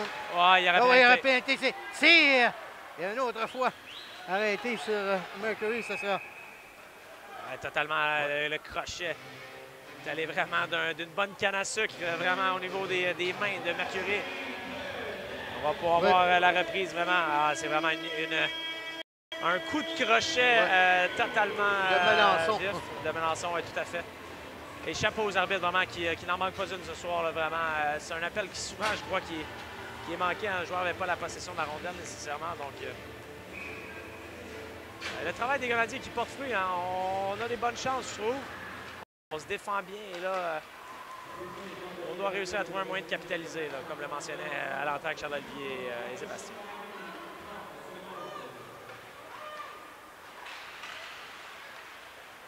Jusqu'à Richardson et dégagement provenant du bâton de Bergeron? On doit garder, on doit garder une simplicité à travers notre mouvement de rondelle, Claude. Mais les trois joueurs, les trois Bergerons jouent en défensive, Félix. Oui, c'est ça, euh, mentionné je crois, que les 50% de la défensive de Magog, c'est des bergerons. Ah, c'est pas facile pour toi qui décrit euh, le match. Et Cazenave qui remet jusque vers Saint-Pierre. Passe dans les patins de Yannicello et on recommencera. Encore c'est Reeves, Reeves.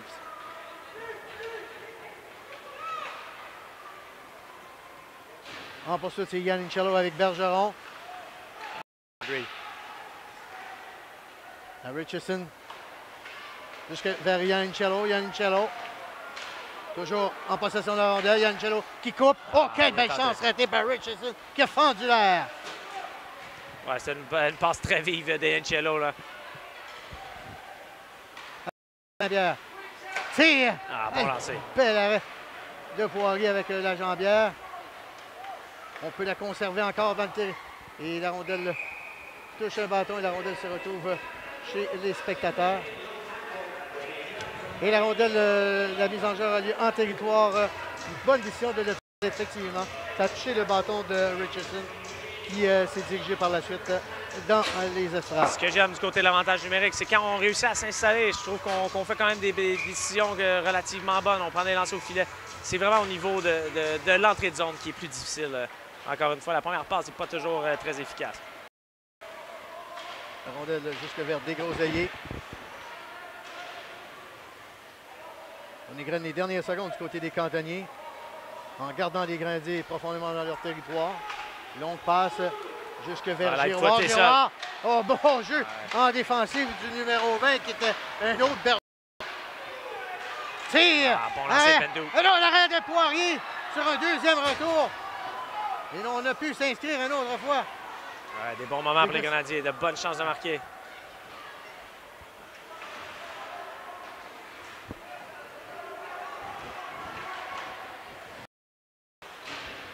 Et bonne présence, de, bonne présence de Bendou, Claude. jusque vers Mercury. Mercury dans le coin de la patinoire. En possession de la rondelle avec euh, Lightfoot. Lightfoot. C'est repris par euh, Couture. Couture sur le flanc remet jusque vers le joueur affilié qui est euh, le numéro euh, 49 euh, du côté des cantonniers. Malheureusement, on n'a pas le, le nom ici. Antoine McCann, McMahon, une.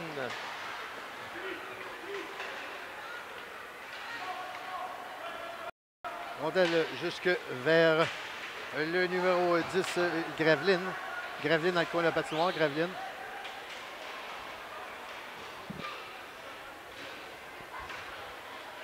Derrière le filet de côté Casanave, on essaie de trouver dans l'encre.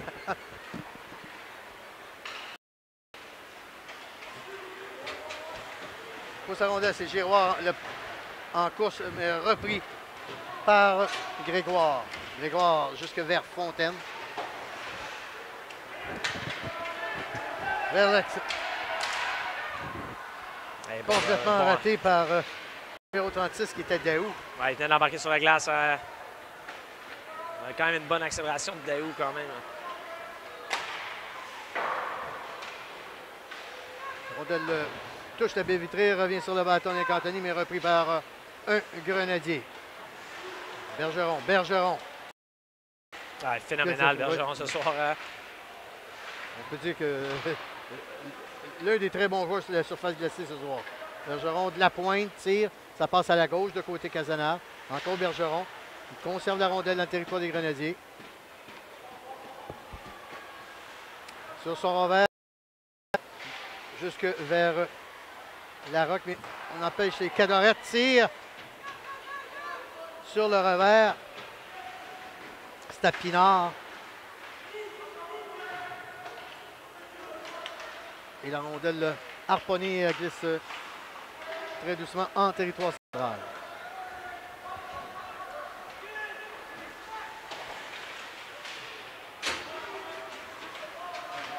Charland, une de euh, une de ses rares présences sur la patinoire en deuxième période, Charland.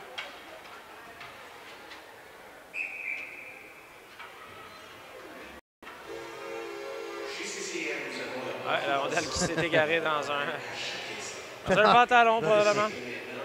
Ah, pendant qu'on voit euh, Grenade, Claude, qui les a rejoint un petit tour tantôt en mettant les écouteurs. Ouais, la mascotte. euh, Grenade qui attend toujours l'appui de Toutou. Oui, tout à fait. Saint-Pierre jusque, jusque vers Bandu. Trop devant celui-ci. Et euh, c'est Charland qui pousse la rondelle dans le territoire. Charland. Remis ça. Charland, dans le coin de la patinoire. Tire. Charland une autre fois. Et ça rate la cible à la gauche de Poirier. Reeves qui ne peut conserver la rondelle dans le territoire des euh, cantonniers. Ça sera repris par Chabot qui euh, doucement en retourne les Grenadiers dans leur territoire. Saint-Pierre sur le plan. En course, c'est Charland. Charland. Rondelle entre les patins, mais repris par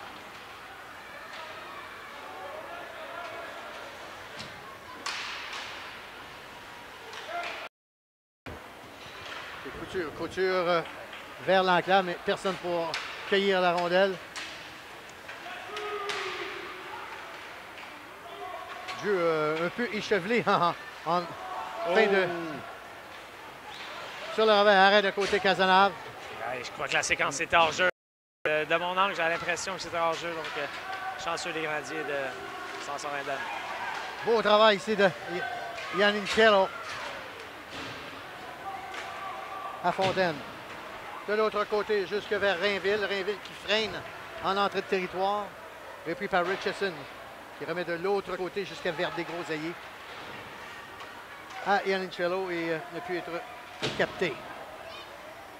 Côté qui remet à son défenseur qui est Poirier. Poirier passe dans les patins, repris par Rainville. C'est Poirier.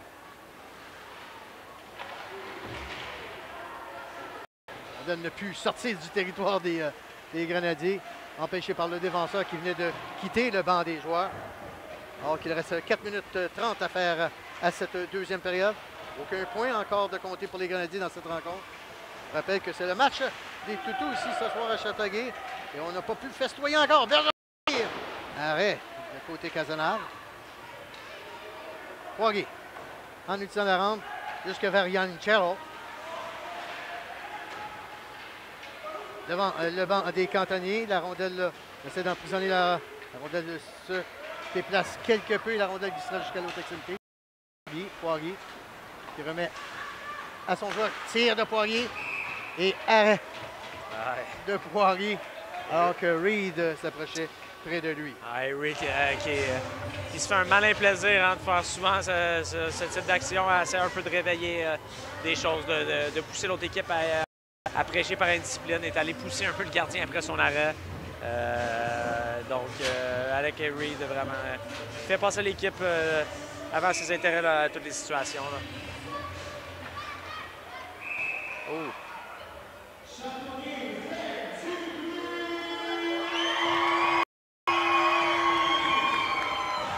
Et bien de rien, Claude, on est encore dans le match pour les Canadiens. Seulement 2-0. On sait que ça va très vite. Oh oui, absolument. Puis, d'un but, donc on, on continue un petit peu travailler, à travailler euh, de façon compacte en offensive. Euh, éventuellement, on va pouvoir peut-être euh, profiter d'un revirement euh, de Magog. Melançon directement sur Melançon qui pas derrière le filet. Jusqu'à Giroir. Giroir. Sur son chemin derrière le filet. Mercury. Mercury. Entre les patins.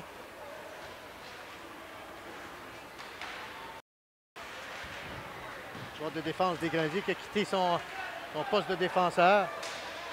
Ah, bien joué! Le but! Hey, quel jeu de Régis! Et voilà les toutous qui se font Et aller! le pluie de Toutou arrive. Ah, quel travail de Samuel Régis, vraiment! Et le but compté par Bénédiction, mon ami. euh, Ah, je le savais. Ah, mon boulot! C'est un peu en retard, par exemple. L'expérience a parlé, Claude. Hey, arrête de te dénigrer. Chapeau. Tu avais appelé Giroir. Bon boulot. Mais on doit donner tout le crédit vraiment sur la séquence à Samuel Régis. Euh, quel travail, vraiment. C'est porté à l'attaque et est allé vraiment euh, d'une protection de rondelle pour remettre à un Giroir qui était totalement isolé. Donc, euh, je ne sais pas qui a manqué avec l'ouverture du Magog. Mais voilà, c'est cassé pour Châteauguay. Et avec 3-11 en deuxième période, on est de retour dans ce match-là. Les arbitres n'ont pas l'air d'avoir une partie de plaisir. Il y en a un qui a, qui a reçu un, un toutou en plein casque. Donc, c'est euh, un festin pour nous, pour les yeux. Là. Alors, rappelons que tous ces toutous-là, euh, Félix, euh, seront remis à une œuvre de charité de la région de la Montérégie, ici dans la région de Châteauguay. Alors, euh, tous ces toutous-là seront remis pour la paix. Ouais, comme tu mentionnes, à l'ordre des fêtes, hein, c'est vraiment euh, des petits gestes hein, qui sont appréciés. Et c'est toutes les mascottes hein, qui ramassent les toutous. toujours un, un moment très, très, très spécial. Et on va Ah, voir la ouais. reprise. Vraiment. Ouais, Ah, comme je mentionnais, très, très bonne euh, protection de Samuel Régis qui a réussi à battre Oui. deux défenseurs. La passe est parfaite. Et quand même, chapeau à Giroir qui a quand même logé la rondelle dans le petit filet, je crois, euh, qui est la partie vraiment la plus supérieure du filet.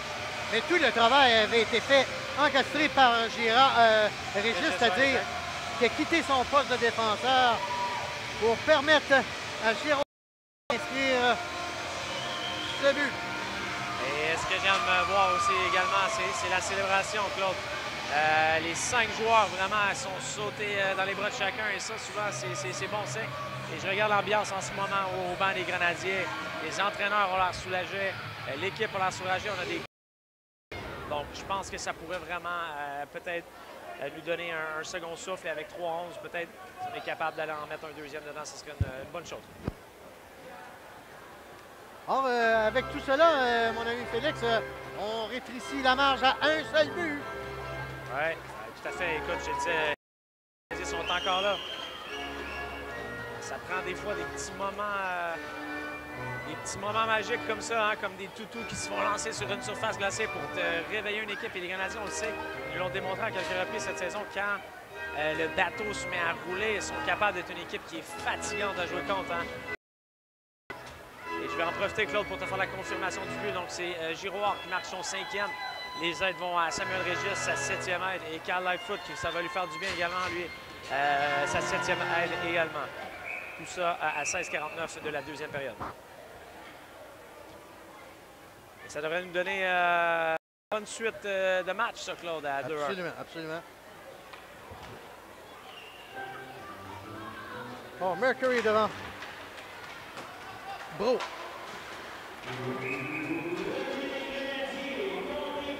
Est-ce que, ça- est-ce que cela fouettera la troupe de Bruce Ben, de, tout ce que j'ai vu de l'ambiance sur le là, je crois, je crois que oui. Je crois que on est soulagé un petit peu à domicile, hein, tu le sais, hein, ça a été difficile de marquer des buts.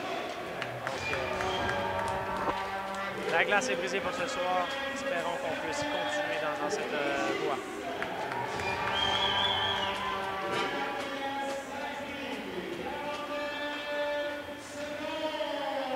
Charland qui pousse la rondelle dans le fond du territoire Magaudois. Derrière le filet, beau travail ici de Metcalf. Metcalf. Du coup, on appelle Charland. Charland qui, euh, sur réception, a tiré vers le but. La rondelle a passé par-dessus Poirier jusque vers Bergeron. Bergeron. Ah, bonne pression là, des Grenadiers. Pinard, Pinard. Essaie de rejoindre son coéquipier. Ah, Bro est isolé. Grégoire. Euh, La surface glacée commence à être un petit peu raboteuse. Contre-attaque de Charland. On apporte des changements du côté des Grenadiers. C'est Bergeron. Bergeron. Ah, Bergeron euh, est vraiment confiant ce soir, Claude. C'est C'est vraiment, Bergeron, c'est vraiment euh, un, un joueur à part. là, de- quand Ah, tu le regardes évoluer depuis le début de la soirée. là. Ah, tu, tu le sens dans soir. sa zone ce soir, juste par son sa façon de bouger sur la glace. là, il est confiant. là. Bergeron à la pointe, tire. Ça rate euh, la cible à la gauche euh, de côté Casanare.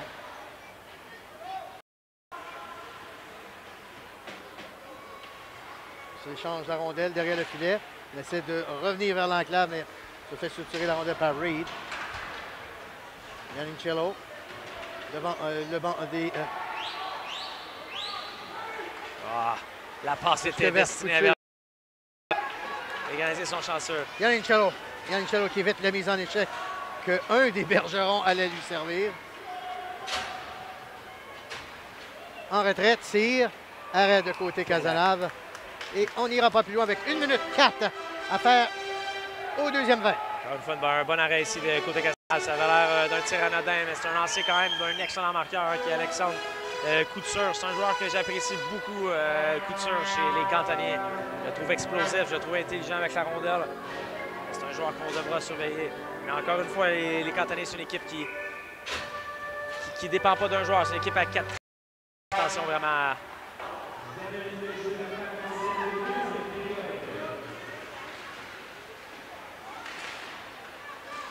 Ah, bon échec avant ici de, de Giroir, encore une fois. Cadorette qui remet la rondelle en territoire central. S'échange la rondelle entre Desgroseilliers et Richard. Oh, ouais, il y a un coup de pénalité. Oui. Oh, c'est euh, Châteauneuf. Et je, vais, je vais donner un crédit à l'arbitre ici, hein, parce que tantôt, on a eu un geste similaire. Je n'étais pas sûr de l'appel, mais l'arbitre vraiment euh, veut protéger les joueurs et c'est correct. Euh, je trouve que s'est mis quand même euh, en posture vulnérable. Euh, le joueur qui plaide que vraiment, justement, le, Régis était en position vulnérable. Mais bon, une ligue euh, de joueurs qui sont euh, pas nécessairement à leur apogée au niveau physique. Donc, on doit protéger ces endroits-là comme euh, la tête. On sait que le fléau des commissions cérébrales est vraiment de plus, en plus répandu. Donc, euh, Il y a 39,2 secondes à faire. Avantage numérique pour les Canadiens. Giroir, un autre fois, de contourner derrière filet. Et on a assez de surprendre Poirier sur sa droite.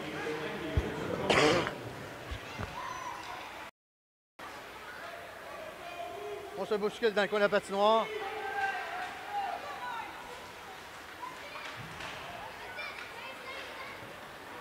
Et ça sera sortie de territoire qui probablement enlèvera toute chance aux Grenadiers euh, dans les derniers instants avec seulement 6 secondes à faire. Peut-être une dernière occasion. Reeves, Reeves! Ah, quand même. Si, euh, Quand même, bonne vitesse, bonne chance. bonne exécution, oui, tout à fait. oui, on s'est donné une bonne chance ici, Félix, euh, dans les derniers instants.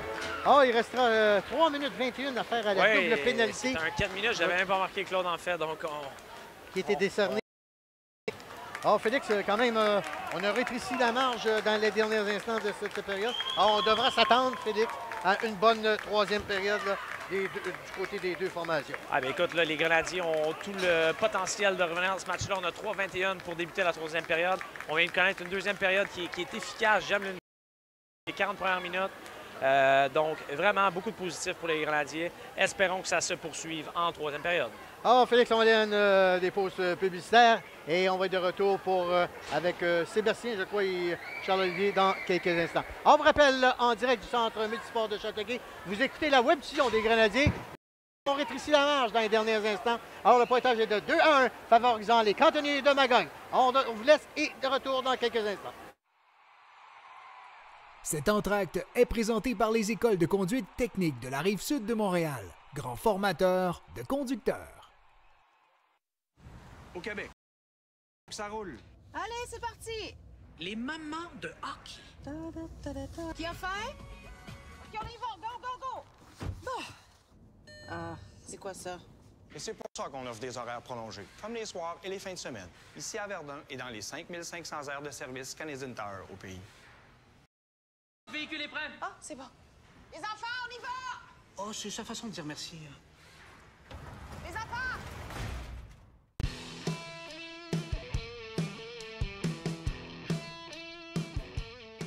La Coop et ses 95 000 membres vous souhaitent une bonne saison 2016-2017. La Coop, partenaire de la Ligue Midget 3 depuis 2004. Lui, c'est Louis. Il prépare le plus beau gâteau du monde pour elle. Le défi, livrer ce gâteau intact. Il ajuste les rétroviseurs, attache sa ceinture, met le contact et il s'engage sur la route. Virage à gauche et à droite. Reste concentré. C'est réussi. 10 sur 10 pour la technique. Oh, Louis! Pour le reste, on n'y peut rien. Technique, grand formateur de conducteurs.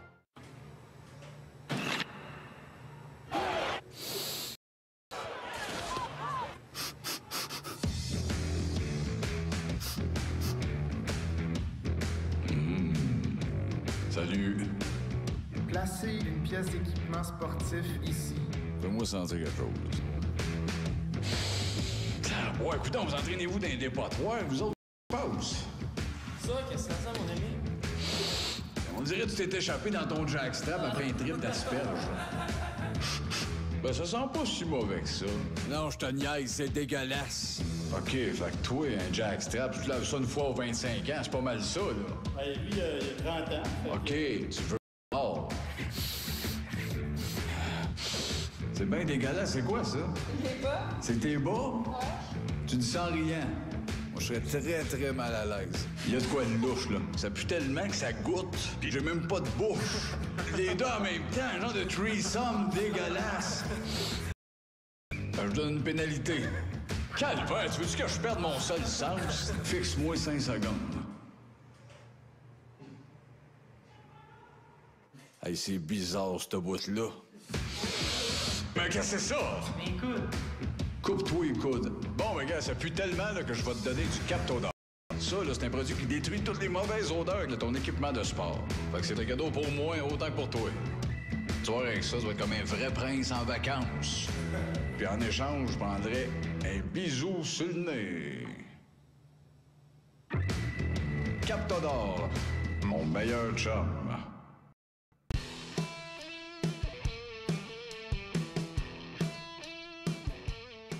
La Coop et ses 95 000 membres vous souhaitent une bonne saison 2016-2017. La Coop, partenaire de la Ligue Midget 3 depuis 2004.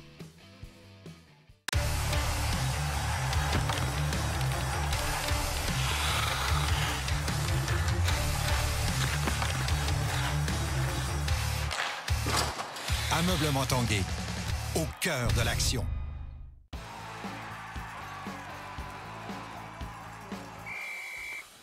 À mes côtés, le numéro 26 des cantonniers de Magog, Jacob, comment ça va? très bien, toi? Très bien, Jacob. Comment que vous entrevoyez ce match face aux Grenadiers de Châteauguay, alors que vous, vous connaissez, vous avez le feu euh, euh, de- euh, dans les voiles, puis du côté de Châteauguay, c'est plus bredouille?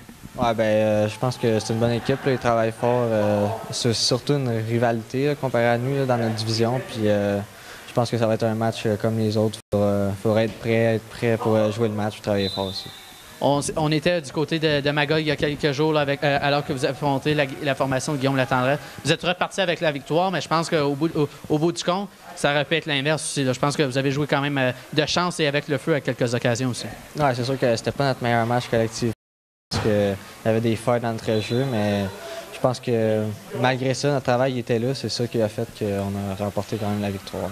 Tu étais avec les cantonniers la saison dernière, vous avez connu beaucoup de succès. Qu'est-ce que tu aimes cette année que tu vois, contrairement à la formation de l'an dernier avec les cantonniers?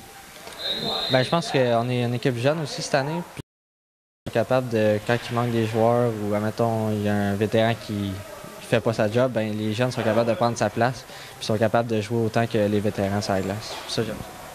Tu as participé au Challenge Midget 3 la saison dernière. Comment tu entrevois ce challenge alors qu'on est à quelques jours pour quitter pour Gatineau?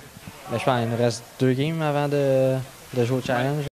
Puis euh, ben, je pense que notre équipe, on est prête. Là. Les jeunes sont tous excités de jouer là, c'est sûr. Pour eux autres, euh, il y a un petit stress de plus pour les scouts et tout, mais je pense que notre équipe, euh, on va bien performer, je pense. Oui.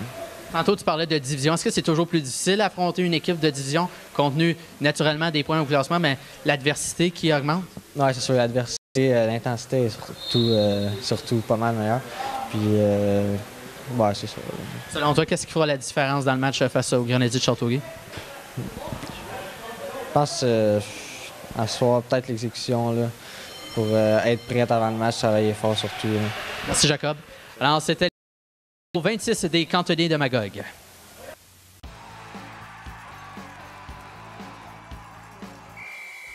À mes côtés, le porte-couleur des Grenadiers de Châteauguay, Alec Reed. Alec, comment ça va? Ça va bien, toi? Très bien. Alec, parle-moi un petit peu des, euh, des, dernières semaines du côté de Châteauguay. Une bonne victoire du côté des Estacades de Trois-Rivières. Cependant, la formation a été ramenée rapidement suite à une défaite euh, face aux Lions du lac Oui, Est-ce que la victoire que vous avez connue du côté de Trois-Rivières, vous voulez l'amener la, et la poursuivre dans les prochains matchs, dont le Challenge Midget 3? Euh, oui, je pense que dans les dix dernières games, ça n'a pas très bien été. Je pense qu'aller chercher une victoire à Magog, ça a fait du bien. C'est sûr que contre les Lions, on l'a échappé. Je pense qu'on est arrivé là un peu trop confiant, on était intimidé, puis euh, je pense qu'on a hâte au challenge à se reprendre, puis même à ce soir. Face aux Lions du lac Saint-Louis, on ne se le cachera pas. Je pense que ça a été le début de match qui a été euh, euh, plus difficile pour de votre côté mercredi. Est-ce que le mot d'ordre, c'est d'avoir un bon début de match face aux cantonniers de Magog? oui, c'est comme on dit, on était, au-dessus de nos enfants en début de game. Je pense qu'ils ont scoré rapidement. Bruce a pris un temps d'arrêt, ça nous a réveillés, mais je pense qu'il était trop tard. Le, mal était déjà fait.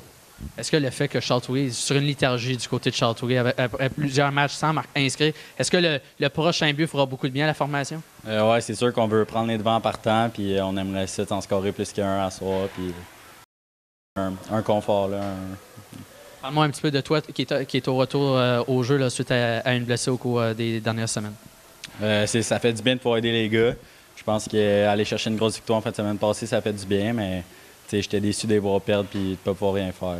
Merci, Alec. Bon match. Alors, c'était les commentaires de Alec Reed, Canadien de Châteauguay.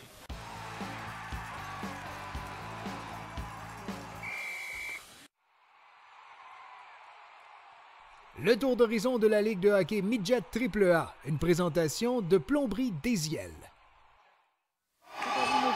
Alors, nous sommes de retour au Centre Multisport. Après 40 minutes de jeu, la marque est de 2 à 1 en faveur de la troupe de Félix Potvin et des cantonniers de Magog. Au chapitre des tirs au but, 18-15 en faveur de Châteauguay. Sébastien, on cherche du positif, ben on voit là du positif. Châteauguay a les devants au chapitre des tirs au but. Et Châteauguay s'est inscrit, mais pas juste ça. Oui. Les Gradiers ont joué leur meilleure période de l'année. Officiellement, je l'annonce. L'effort, il Je vois Félix, je vois Félix sur la passerelle et il est renversé. il est renversé. Il est, il est, renversé. Il est renversé. Non, mais honnêtement, là, on fait beaucoup de blagues, là, mais c'est la meilleure période des Grenadiers. On les a vus tout feu, tout flamme. Euh, les marqués. Et en plus, on, a on, a manqué juste avant le but, là, une minute avant le but, un poteau là, de plein fouet. Euh, ça, ça, aurait pu, ça, aurait pu, être deux à deux là, au moment où on se parle. Oui, effectivement. Puis euh, c'est intéressant, comme tu dis. là, on a une très bonne période. Et puis, euh, ça serait intéressant de voir les capitaliser davantage sur cette période, de prendre de ressortir le positif de cette période et de la retransmettre sur la troisième période. ça va aider aussi parce qu'on commence en supériorité numérique en début de période. Donc, euh, si on veut partir un momentum, on part de là, on, devrait être, on devrait être euh, l'autre côté de, de, la patinoire, dans le territoire des cantonniers finalement.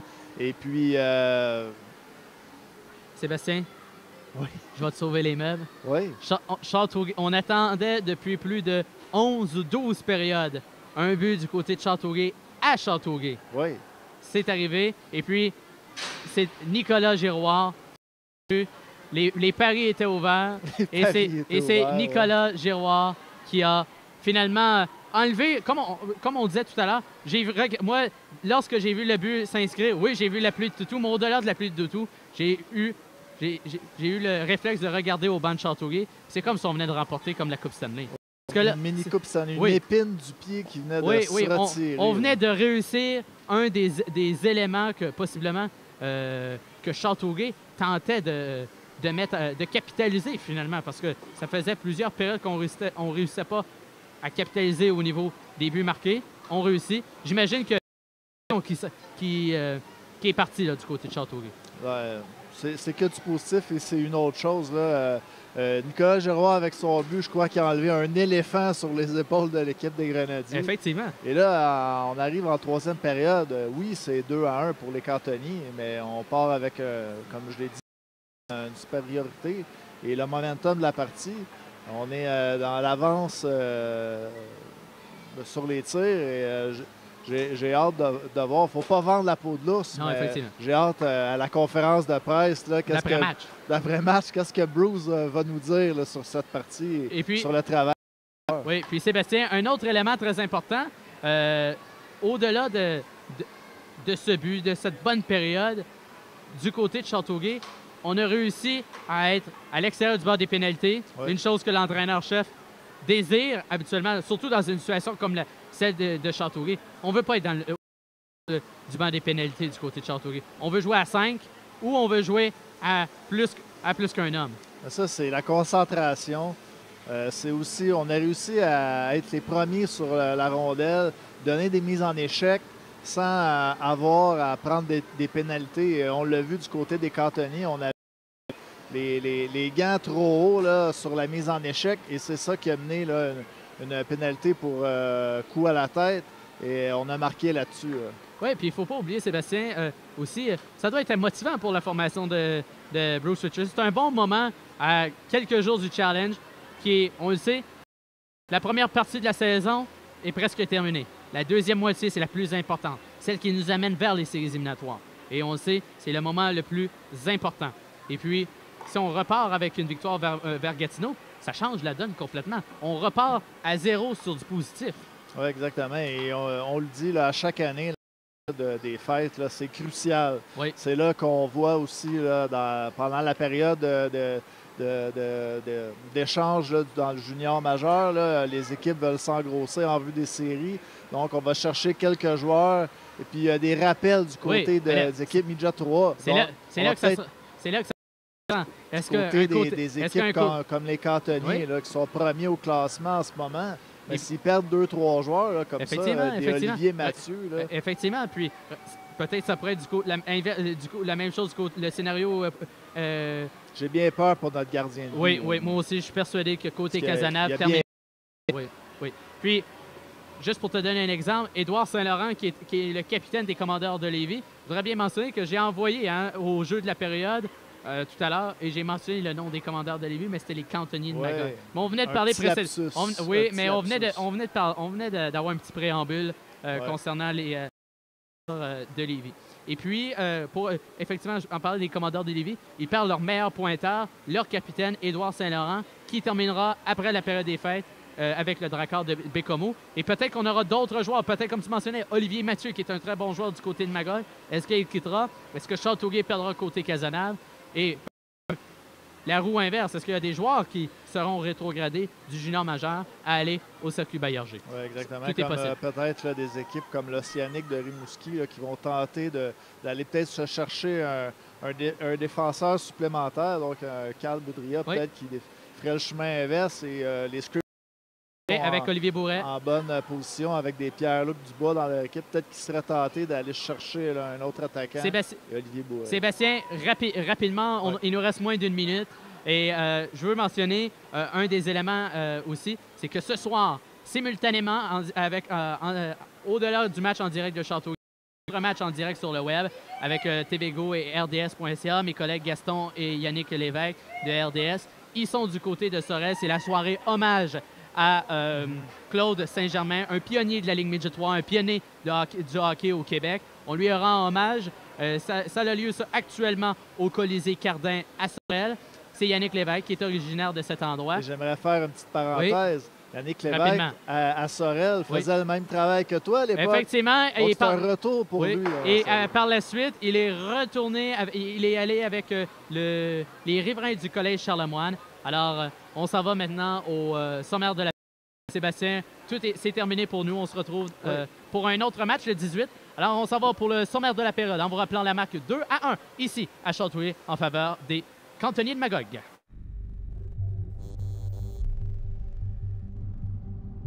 C'est quoi la différence entre une échappée et se faire rattraper? Entre contourner le défenseur et perdre la rondelle.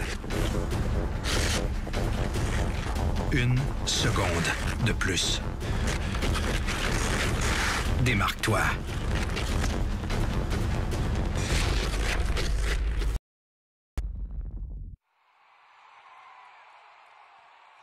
Le jeu de la période vous est présenté par Vidéotron, le super club de Châteauguay.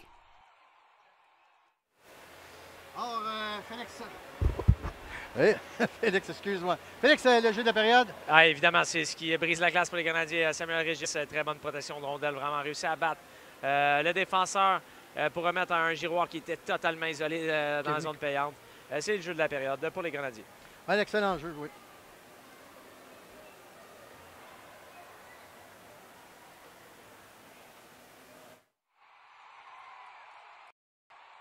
Le sommaire de la période est présenté par Énergie Cardio. On change le monde. Alors, le sommaire de cette deuxième période, très simple, Félix. Le but de Nicolas Giroir, son cinquième de la saison, à 16-49. Et euh, ça vient de disparaître. Oh, elle revient. Kyle Lightfoot comme euh, en assist et de Samuel euh, Régis. Dans cette période de 6 punitions du côté de Magog avec 15 tirs au but et 2 du côté des Grenadiers pour euh, 18 tirs au but. Alors, euh, 2 à 1 pour les cantonniers de Magog sur Châteauguay. Cette période est présentée par Desjardins. Coopérer pour créer l'avenir.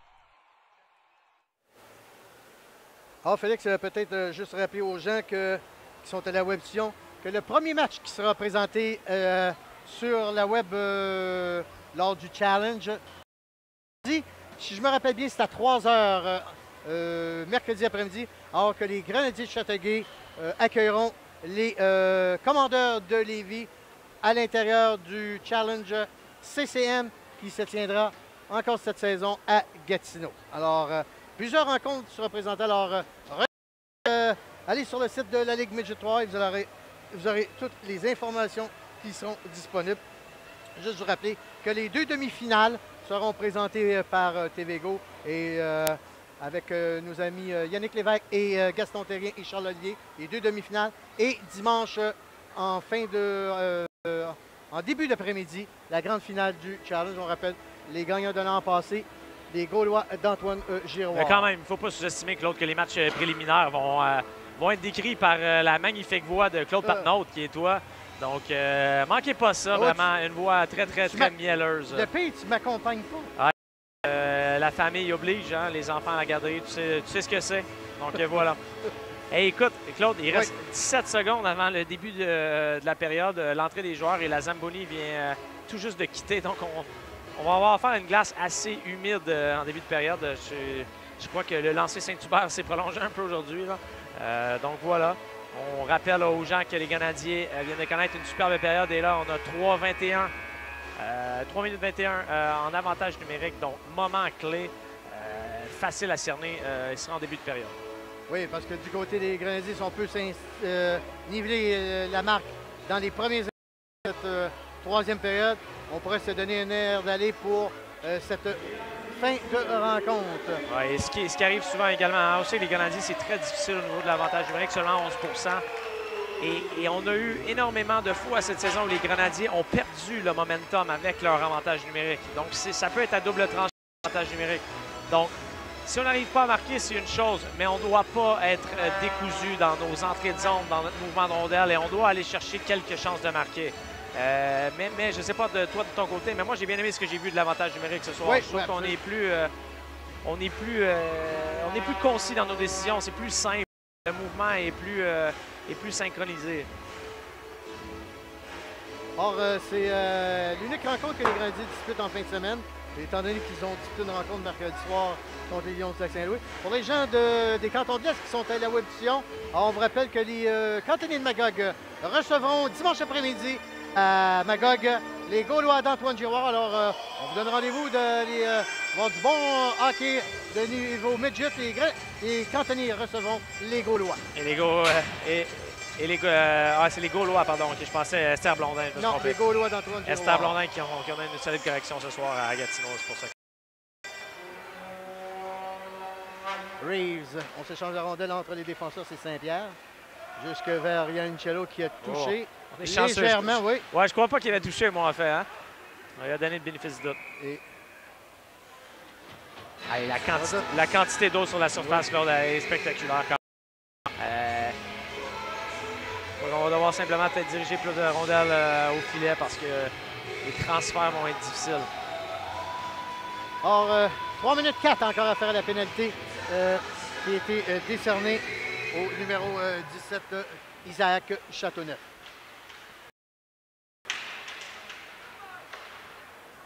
Bon travail euh, du numéro 25 ici. euh. Un autre Bergeron. Ouais, Bergeron, vraiment. Hein? T'as- t'as- t'as- Ouais, t'as une chance sur deux, en T'as fait. une hein? chance sur deux d'avoir un Bergeron à défenser. Mais c'était pas Bergeron, en fait, c'était Jacques-Claude, c'était le numéro 25. C'était le numéro 20. Ouais. Ouais. Reeves s'est touché avec un bâton euh, plus élevé euh, que la hauteur permise. Ça va, euh, on va apporter des changements. Et j'aime quand même. euh, ah, je crois qu'on a jumelé euh, Giroir et Mercury. On les avait séparés pour les deux vagues d'avantage numérique. Mais là, quand on parle de gros sur un avantage numérique devant le filet, là, là tu as les, les deux gros bonhommes de l'équipe, hein, Giroir et Mercury. Si on réussit à envoyer une rondelle au filet avec ces deux gars-là devant le filet, ça peut être payant.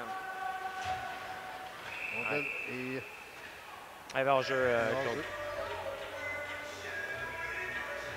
Donc, on a déjà quand même 54 secondes d'écoulées pour eux qui doivent euh, justement casser un peu ce momentum-là des Canadiens. Et pour les Canadiens, on doit, on doit éviter de le perdre.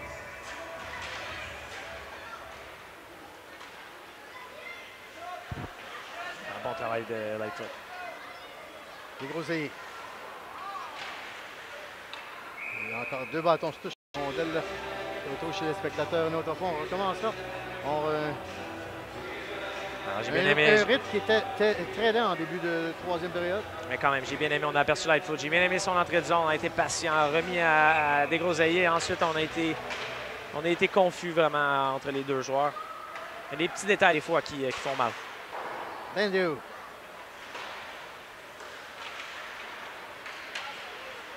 Les Groseilliers jusque vers Bendu.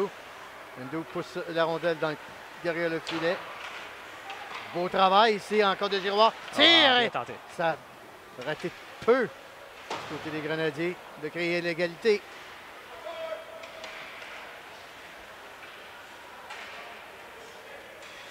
Giroir jusque vers Desgroseilliers. Et dégagement par le fait même de Bergeron.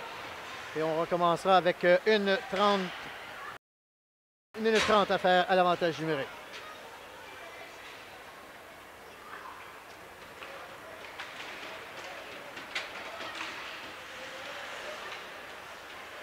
Bonne entrée de zone pour les Canadiens. On a été patient ici. Saint-Pierre jusque vers Reeves de l'autre côté. Vers Saint-Pierre. Saint-Pierre. Permutation entre les deux défenseurs. Revient à Reeves. Tire. Et ça, ça a touché, je crois, un, un des joueurs des cantonniers pour se retrouver derrière le filet. Et, euh, la rondelle euh, touchée plus, haute, plus haut que la hauteur. Comment ça? En territoire central.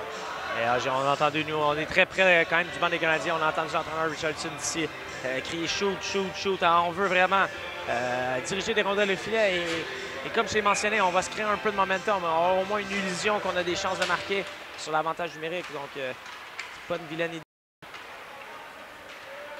À bonne vitesse. Richardson. Jusque vers Reed. À la pointe à Reeves. Ah, bon la travail. pointe. Saint-Pierre tire. Ah, bien tenté, bonne chance. Détruit ça pour les Grenadiers. Retourne de l'autre côté vers Saint-Pierre. Passe vers l'enclave vers Yancello, repris par Reed. Reed, Ah, euh, dommage. Arondel là, qui, a, qui a pris un mauvais bon.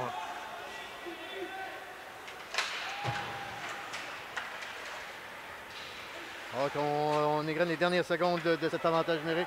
C'est Chabot. Chabot qui se présente. Passe à la gauche de côté Cazenave.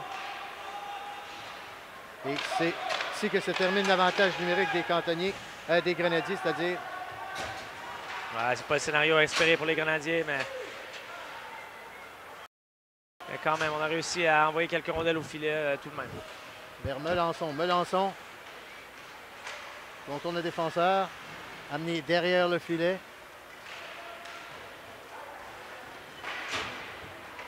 Rondelle se retrouve euh, sur le ba- un bâton des Grenadiers. Antonucci. Antonucci. De l'autre côté à Regis. Oh, une passe très osée ici, euh, Félix. Oui, mais, mais j'aime ça quand même, des transferts comme ça, parce que ça permet un peu de défaire un peu la structure de l'autre équipe, mais effectivement, il y, a, il y a un certain risque.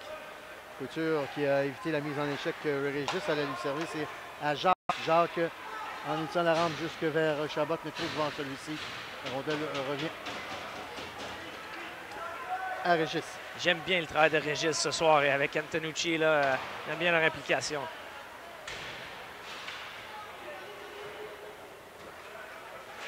Ah, bon travail d'Antonucci fois.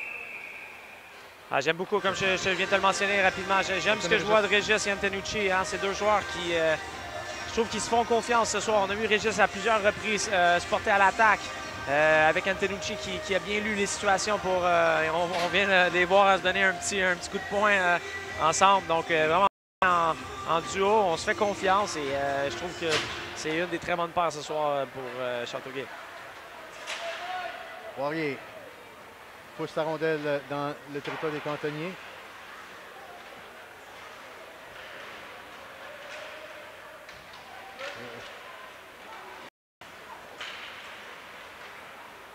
Jusque vers Lightfoot. Lightfoot. Ah, 3 contre 2 ici pour Magog. Jusque vers euh, Graveline. Graveline harponné par côté Casanave en étirant son bâton pour soutirer la rondelle de Cantonnier.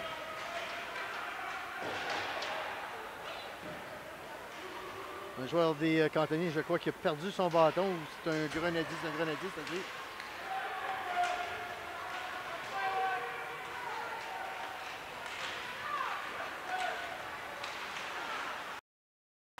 C'est euh, le jeune numéro 89 euh, des Grenadiers, euh, Mercury. Mercury, qui a perdu son bâton.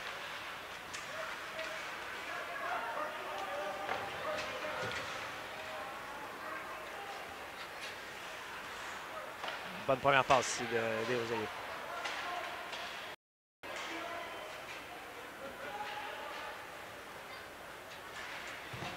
Bergeron quitte son poste de défenseur encore une fois. Un défenseur attaquant, Bergeron. Ah, tout à fait, mais écoute, il n'est jamais pris en position, Claude. Euh, ses, ses lectures de jeu sont vraiment au-dessus de la moyenne. Euh, c'est un joueur vraiment qui pourrait être un vol pour Juan Aranda, selon moi. là.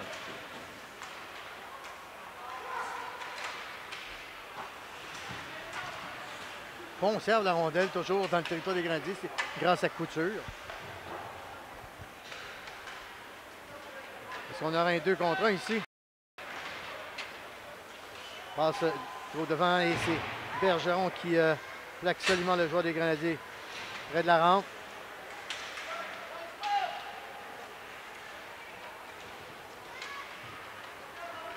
Sur le flanc, jusque vers euh, Couture. Couture qui sait euh, soutirer la rondelle.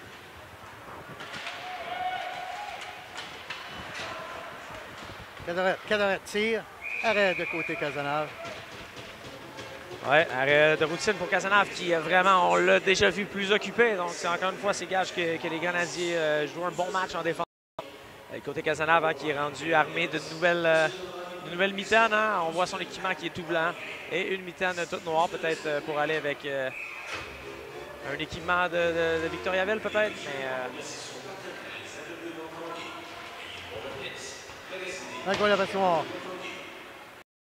Saint-Pierre qui sort du coin et remet de, en utilisant la rampe de l'autre côté. Mais du côté de Magog, on peut la conserver dans le territoire des Grenadiers. Ça sera sorti maintenant sur la droite euh, du côté des Grenadiers. Yancello. Ah, Angelo, euh, j'aime bien ce que je vois ce soir. Je ne serais pas surpris si. euh, Jusque vers Rainville. Derrière le filet Saint-Pierre. Saint-Pierre.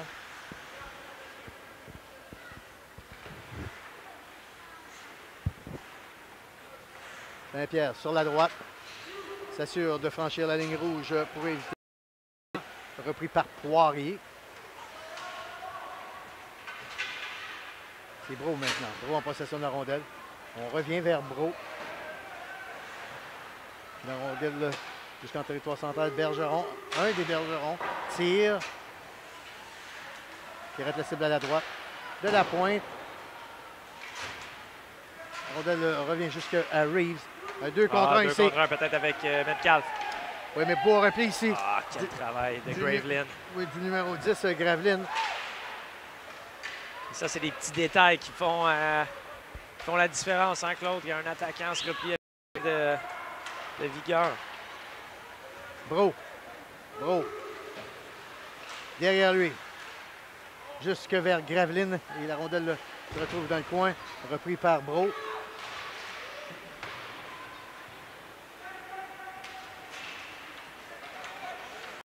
Régis, Régis. Fort match euh, de, Ah, du jeune fait, Régis, ouais. Un, des, un des très bons joueurs là, de- du côté des Grenadiers ce soir. En confiance, hein? Ah, bon, jeu ici de Reeves. Ouais, Ouais.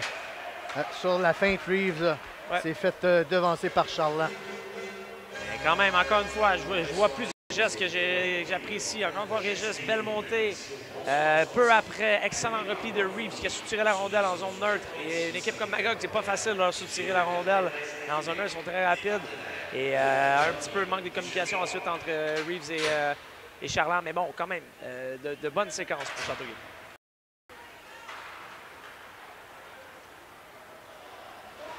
On m'a fait bon en faveur des Canadiens. Ah, tenté. On doit frapper le filet. Lightfoot doit Light. frapper le filet. Ah, encore une fois. Ah, il rate Ah, le filet encore. Incroyable. Ah, Lightfoot, deux chances Deux en chances ratées complètement de foot. Il a- coup sur coup aurait pu créer l'égalité ici pour les Grenadiers. Lightfoot. Lightfoot a des choses à pardonner, mais remet directement et la rondelle le glisse. Ah, C'est revirement. Poirier. Poirier. Beau travail de Poirier ici. Aïe, aïe, aïe, Lightfoot. Au Magog, Magog, on s'en tire à, à bon Ah, compte. tout là. à fait. Deux revirements. Une fois, c'était avec la bande, là, mais Avec l'aide de la bande, exactement, mais quand même. Deux coups, euh, deux chances ratées, coup sur coup pour Lightfoot. ah, encore une fois. Beaucoup de chance dans le Canadien. C'est très positif. Là. Il y a des matchs où on en a vu euh, moins de 5. Là. Un des, un des rares moments que la défensive de Magog est débordée.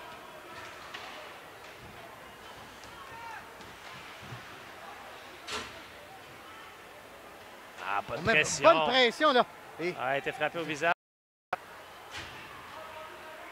Mais bon travail.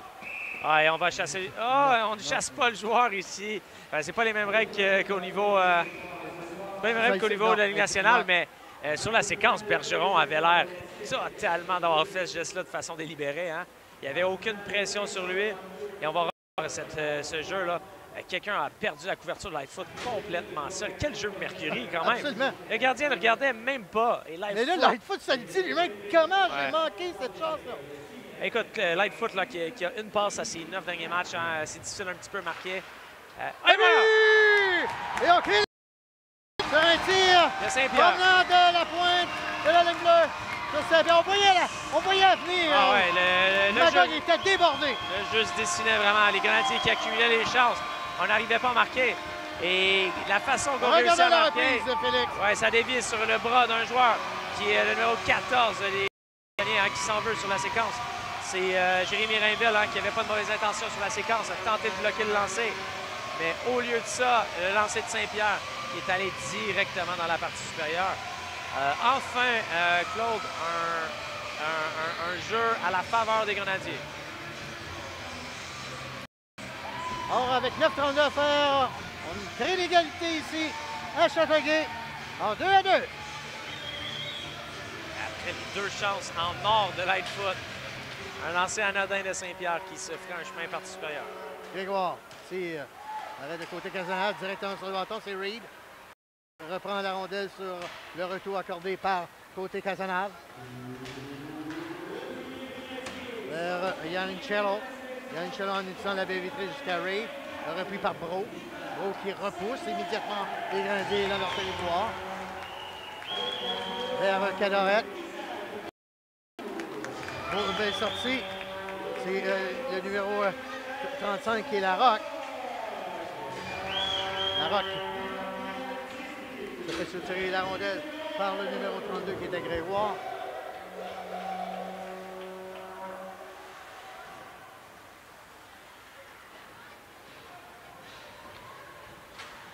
Régis.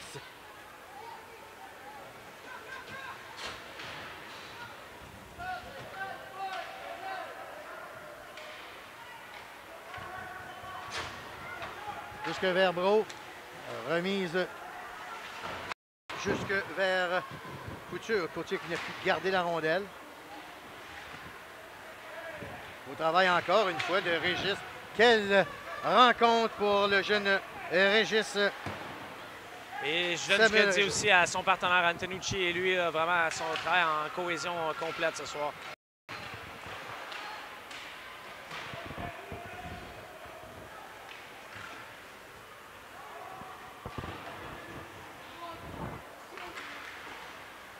Arrêt de côté Casanal, la rondelle là, derrière le filet. euh, Reprise, sortie de territoire maintenant. Jusque vers Reeves présente devant euh, Bergeron. Reeves toujours dans le coin. Bonne bataille.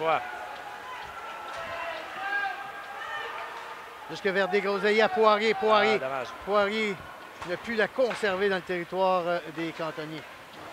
Poirier. Jusque sur- avec Giroir en utilisant la rampe.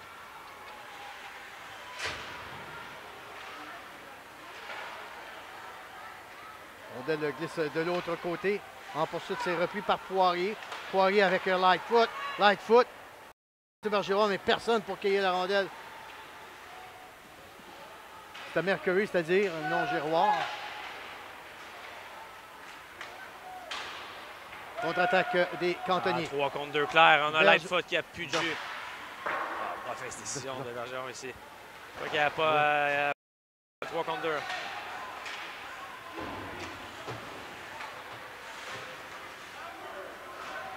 Gravelin, Aïe, Gravelin. aïe, aïe. Devant des. Alors, on est décousu chez les Canadiens. On est, on est, on est mêlé défensivement. On doit se replacer. Bergeron, Bergeron, tire du poignet. Oh. Oh! Ça a failli très près. Ouais, je crois pas que ça aurait été accordé. hein. Oui, ça avait été chip plus haut que la hauteur permise. On avait bien vu le signal de l'officiel. Lightfoot doit aller au banc. Il est fatigué.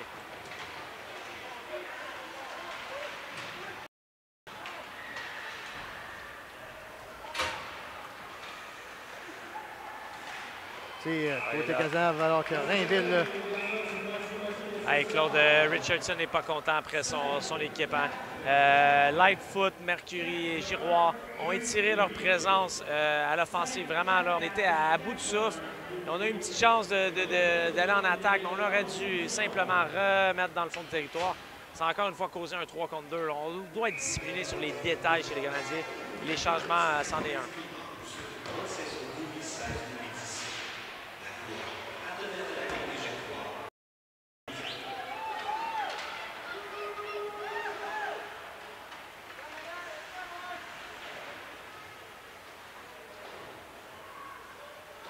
Rondelle dans les airs.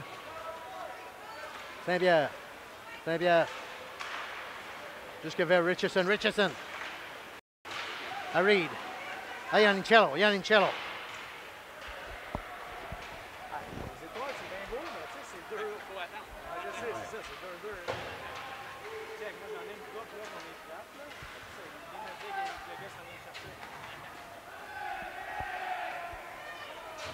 Attention ici du côté des cantonniers, hein, de ne pas se faire prendre avec un, un joueur en plus sur la surface glacée.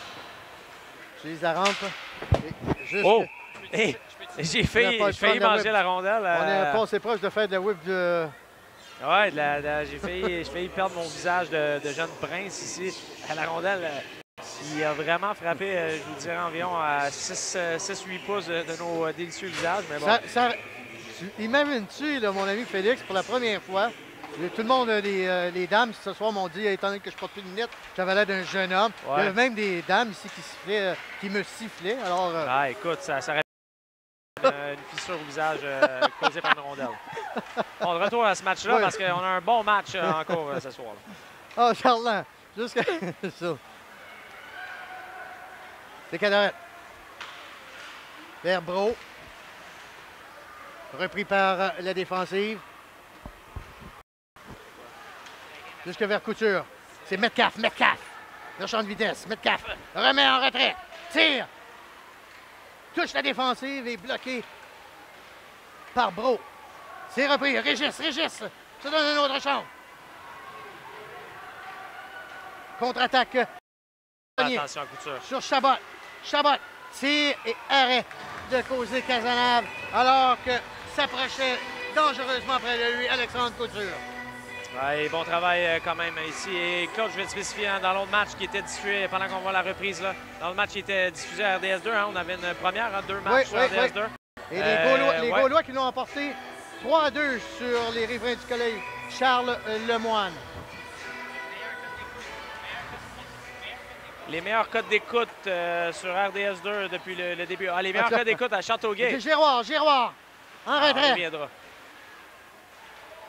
Beau travail Giroir, toujours. On met de la pression sur la défensive. Vers Giroir. Giroir qui revient sur ses pas. Vers l'enclave. Tire de la pointe. Ah, bien tenté, Mercury. Et Mercury, ah, c'est là qui se rentre à la aïe. Et la rondelle est toujours entre les patins. Aïe, on aura le joueur des, des cantonniers qui sera chassé ici. On doit sortir de là. Bendou doit sortir de là au plus vite. Eh, c'est ça, eh, c'est ça. Là, là, on entend Richardson. Eh, on entend Bruce Richardson qui, euh, qui appelle Bandou vraiment de se retirer de, de cette situation-là parce qu'on a un avantage numérique là, ici qui, est- qui est assuré pour les Grenadiers. Si on reste calme. J'ai vu le geste, c'est Graveline euh, qui a fait euh, la prise de l'ours aux joueurs des, euh, des Grenadiers. Et on, on chasse ça, Graveline, euh, je crois, pour les deux prochaines minutes. Eh, bon boulot de Mercury à poster Absolument. vraiment. euh, Mercury qui a essayé de pouvoir, entre les jambières, trouver une faille, mais malheureusement, On va voir la séquence. Il est plat. On va voir la séquence qui Regardons ramène à la, la- la là. reprise ici. Ouais, vraiment la prise de l'ours qui, qui va causer un deux minutes. Mais ce que j'ai aimé de Mercury, Claude, j'ai spécifié, c'est un gros bonhomme. hein. Il est allé se poster. Où est-ce qu'il doit se poster? Ah, Lightfoot également sera chassé. et on chasse le joueur des euh, Grenadiers aussi. Il y a une chance en or quand même. euh, Or, il y aura, un- je crois, j'ai vu- bien vu le geste de l'arbitre, il y aura 4 minutes du côté de Magog et 2 minutes de Châte- côté de Châteauguay. fort probable. J'ai bien vu, ça serait quoi la tête euh, du côté des cantonniers? On va regarder le tableau indicateur. Mais Mercury avait une belle chance de. de... Il était ça, là, pas été capable de loger la rondelle. Mais tu avais raison, Claude, on aura un avantage numérique. C'est ce que j'aime voir de Mercury. Mercury et Giroir, j'aime les voir dans, la- dans cette zone-là. C'est des gros bonhommes. Ils sont durs à tasser. Euh, ils jouent, jouent encore une fois un fort match. Et là, l'occasion est rêvée. Temps d'arrêt demandé par euh, Bruce Richardson.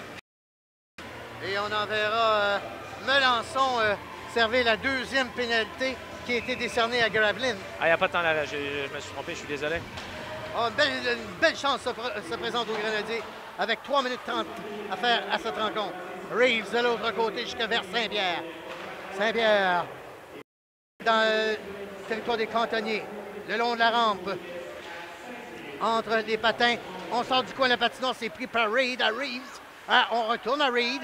Reed vers l'enclave, mais beau travail de couture qui a, pu harponner la rondelle légèrement pour la diriger dans les estrades.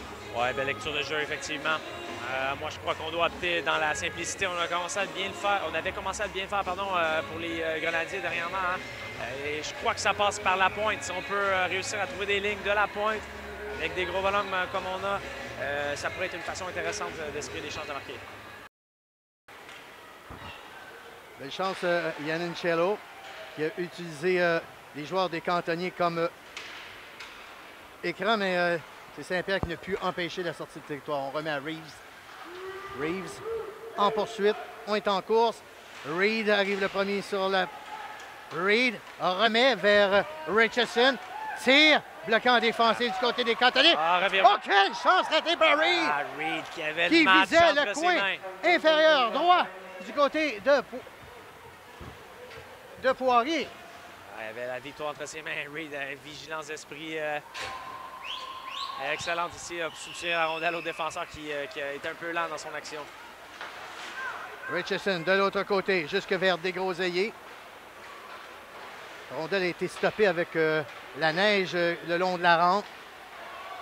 Reed remet jusque vers Yannicello, tire. Arrêt du bloqueur de Poirier. Joueur de Grandier qui est accueilli solidement par Bergeron dans le coin de la patinoire. Et encore une fois ici, Poirier met la main sur la rondelle. On commencera avec 25 secondes à faire l'avantage numérique. 2 minutes et 2 à faire dans ce match. Ouais, les Grenadiers qui euh, solide performance encore une fois. Euh, on est à deux minutes d'aller en prolongation, ce qui serait déjà euh, un avantage. Mais je crois qu'on va opter pour essayer de gagner ce match-là déjà, hein, si on est capable Oui. avec 25 secondes. Euh, ça ferait du bien. là. On a un effort qui est vraiment très louable Oh, ça- ce soir. Je pense que ça enlèverait beaucoup de pression là, sur les, les joueurs des Grenadiers, là, pouvoir l'emporter. Quand même, l'équipe qui est en première position dans la division TAC du circuit Bayarger. Beau jeu de négocier tir! Oh, arrêt de la mitaine de Poirier. Séquence, bon lancer, gardien solide sur la séquence. Et les Grenadiers, là, il faut se dire, ils méritent ce match euh, ce soir. Là, et ce serait, ce serait bien justement. Regardons la reprise, Félix. Alors qu'on verra. On a Euh, l'ouverture vraiment hein, a battu Couture éventuellement qui, qui a triché un peu sur la séquence. Oui, mais beau Euh, jeu de. Il était là en confiance. Et là, on a un temps d'arrêt qui est demandé euh, effectivement par euh, Bruce Richardson. Du côté de Magog, euh, pendant qu'on les aperçoit, il y a beaucoup de directives qui se donnent. Là. Euh, je crois pas qu'on est de l'effort ce soir euh, de Magog. Rien de convaincant. Je crois que depuis le début de l'année, moi, pour côté Casanave, Claude, je crois que c'est le match le plus, euh, le plus relax qui, Disons que moi, ça- écoute, j'ai vu les cantonniers la semaine dernière à Magog. Euh, j'ai été à Magog la semaine passée euh, voir la game euh, des cantonniers contre les riverains et je peux te dire une chose, que les cantonniers sont- ont été très chanceux de s'en tirer. Le pointage, c'est fini, ça a fini 4 à 3 pour les cantonniers, mais honnêtement, les riverains auraient pu partir avec la victoire. C'était pas... Ouais. Alors, je suis certain que Félix Potvin ne doit pas être très, très satisfait de, son, de la performance de son équipe présentement. Saint-Pierre. Saint-Pierre. Jusque vers Giroir. Derrière le filet. 55, on va faire attention en arrière. Et Oui. euh, Saint-Pierre qui l'a signifié à Bendo. euh, bonne communication ici. C'est Chabot. Chabot qui se présente devant Saint-Pierre. Plaqué le long de la rampe. Quatre joueurs dans le coin de la patinoire. Jusque vers Bro. Bro. De l'autre côté, ce sera Bandu. Bandu. Bandu.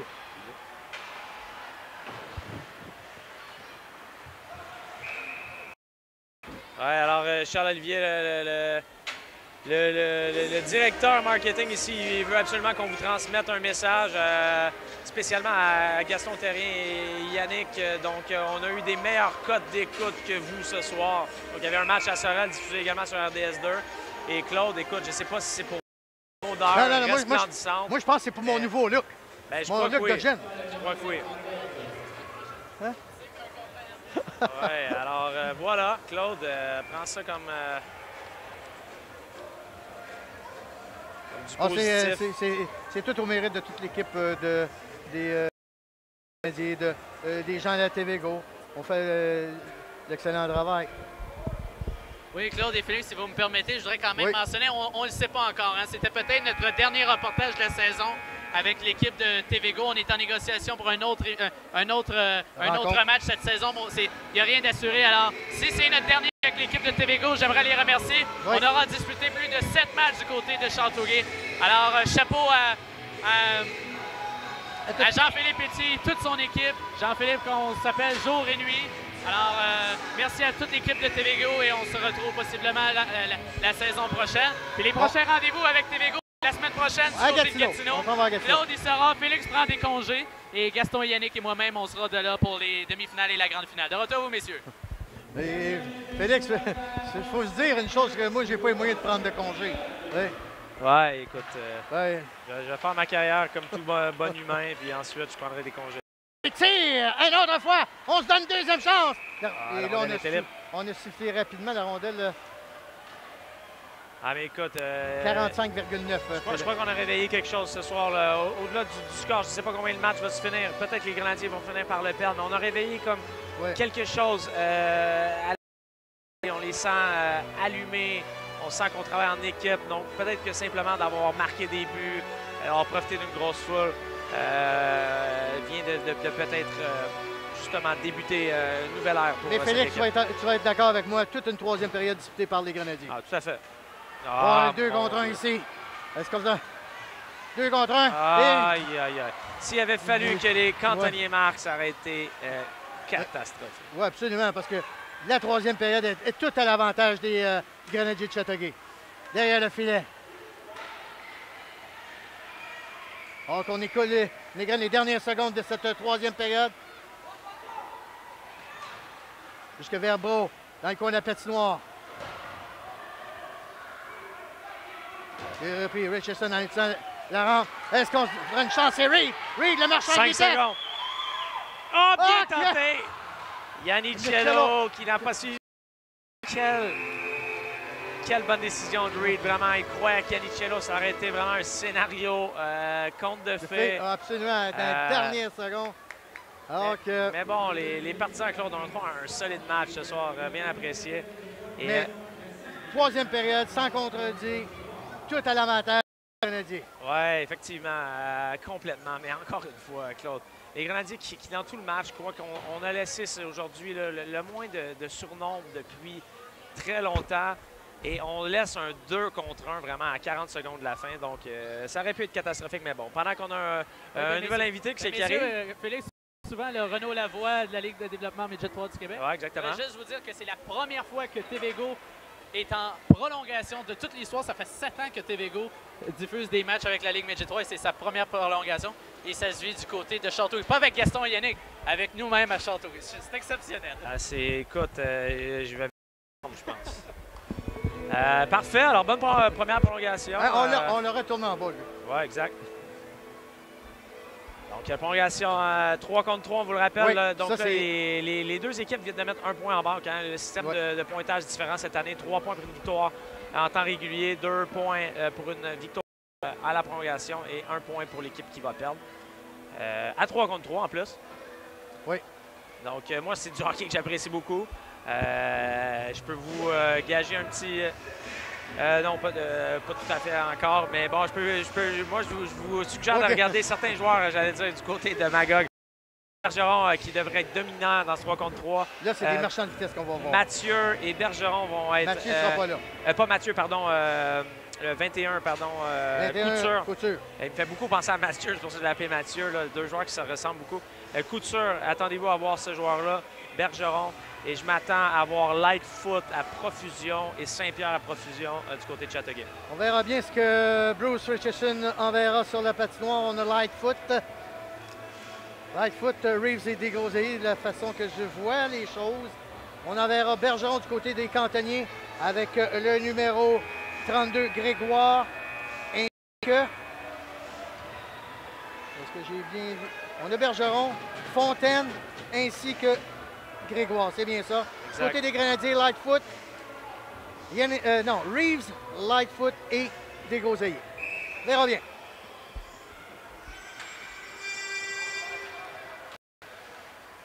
Bergeron, c'est Grégoire. Ah, attention, Grégoire. Bergeron. Ah, Ah, bon, bon, travail bon, de ça. Desgroseilles, oui. Bergeron. Jusque vers Grégoire. Grégoire qui rentre vers là. Ah, bon boulot des Grenadiers. C'est pas facile, le Beau 3 tra- contre 3. Hein? Oui, abs-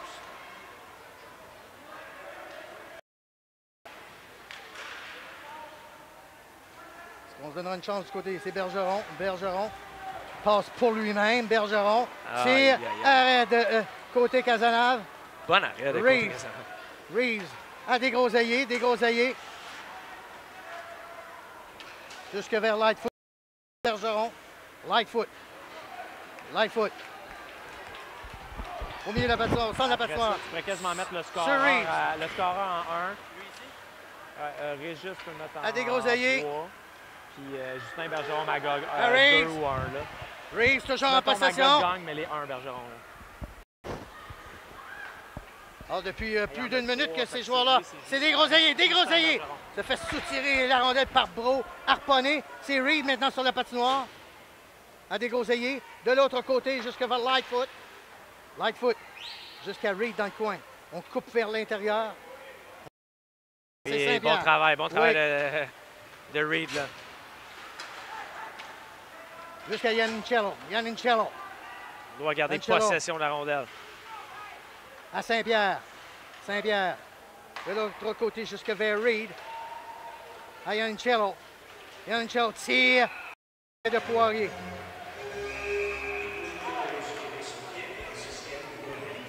J'ai bien aimé la façon qu'on a apporté les changements hein, avec Reed. Euh, Vous voyez qu'on a apporté des changements pendant qu'on le voit à l'écran, justement. Et sorti de la zone, c'est ce qu'on fait au niveau de la Ligue nationale. Donc, euh, on sait que les joueurs des Grenadiers, ça va être des gros fans de hockey, donc doivent regarder des matchs. Ils savent un petit peu comment ça, ça- ça se produit. Euh, ben, un petit peu quand même. Pendant que tu me fais des petits jeux, de- Ok. des petits des tics de violon, non, mais euh, il y a beaucoup d'autodidactes là-dedans qui voient des choses et essaient de les reproduire. Et euh, Reed le fait sur la dernière séquence. Saint-Pierre. Saint-Pierre. Bon travail de Saint-Pierre. Travail a tiré sur Cadorette. Saint-Pierre regarde les options disponibles. Reed qui remet jusque vers. Et c'est Châteauneuf. Châteauneuf. Ah, danger ici. C'est Couture. Couture, Couture. Ah, quel, quel travail de Saint-Pierre. Saint-Pierre. n'a pas mordu du tout. Là. Saint-Pierre vient de sauver les meubles du côté des Grandiers. Longue passe, mais repris par. Donner la rondelle ici. C'est Châteauneuf. Châteauneuf. C'est arrêt Ouais. de côté Casanave. Ouais, vraiment, ici, Couture a été très généreux. Un joueur explosif. On a pu voir vraiment là, et passer de la vitesse A à la vitesse B en un segment de seconde. Oh, le- la moitié de la période de prolongation est passée. 2,32 qui reste à cette, première, à cette prolongation. Je dirais pas non à des lancers de pénalité, Claude. Le camp défensif, c'est Bergeron. Bergeron avec Pinard. Bergeron remet jusque vers Pinard. Et Aïe, le, aïe, le rondelle qui a touché Ah, le patin de Régis. malheureusement. Régis qui avait connu un fort. Dommage, dommage. Vrai- dommage parce que Régis, toute une rencontre de la part du jeune Samuel Régis. Ah, écoute, il n'est pas à blâmer. Les Grenadiers qui n'ont pas à...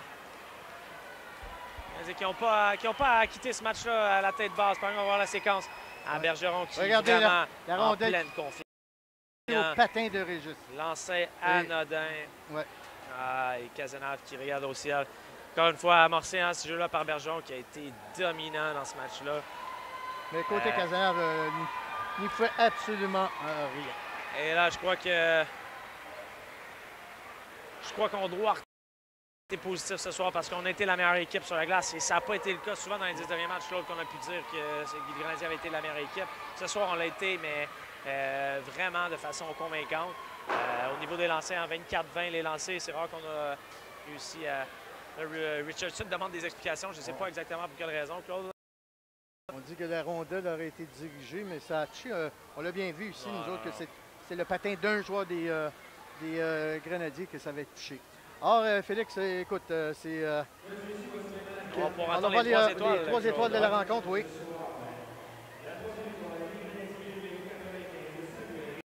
Ouais, Samuel Régis, La deuxième étoile est décantonnée de Magog. Le numéro 9, Justin Bergeron.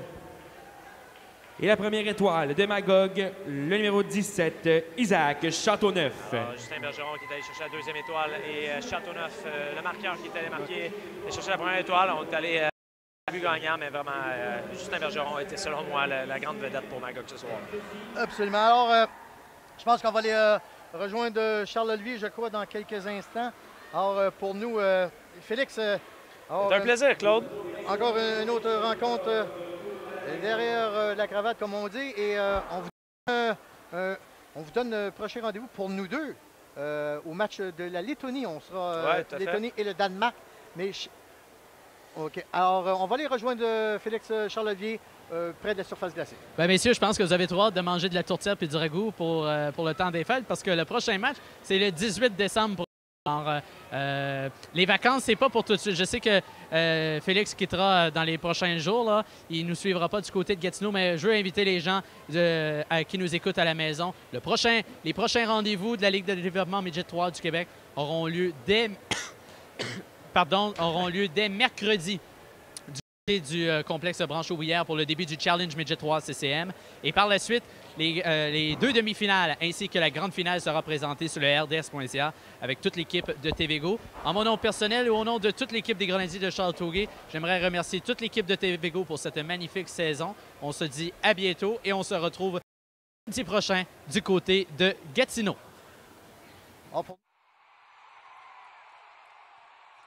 Le jeu du match est présenté par Vidéotron, le super club de Châteauguay. Alors, le jeu du match, euh, Félix. euh, Ah, évidemment, c'est le but gagnant avant Justin Bergeron qui a été dominant tout au long du match, a amorcé cette séquence. Un faible lancé de Châteauneuf qui, qui, dévie. qui passait complètement à la Ouais, gauche. Tout à fait, côté. mais écoute, euh, quand on est dans une séquence froide, des fois, il y a des choses comme ça qui arrivent. Euh, malheureusement, Samuel Regis qui se fait marquer. Ça a été le jeu du match euh, qui n'a pas été à l'avantage des Grenadiers. Alors, Félix, c'est ici que se termine ce reportage.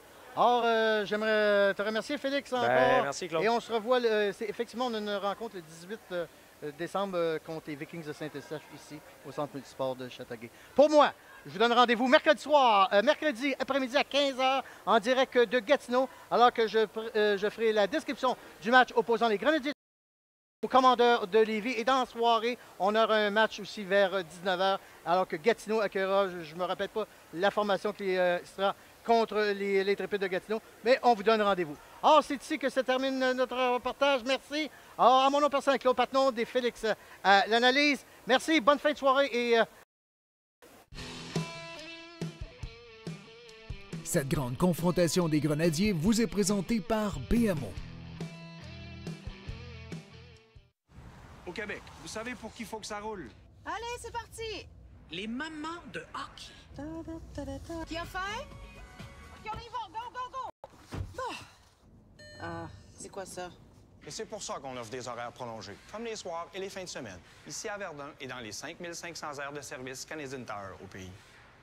Madame Gagnon, votre véhicule est prêt? Ah, c'est bon. Les enfants, on y va! Oh, c'est sa façon de dire merci. Les enfants!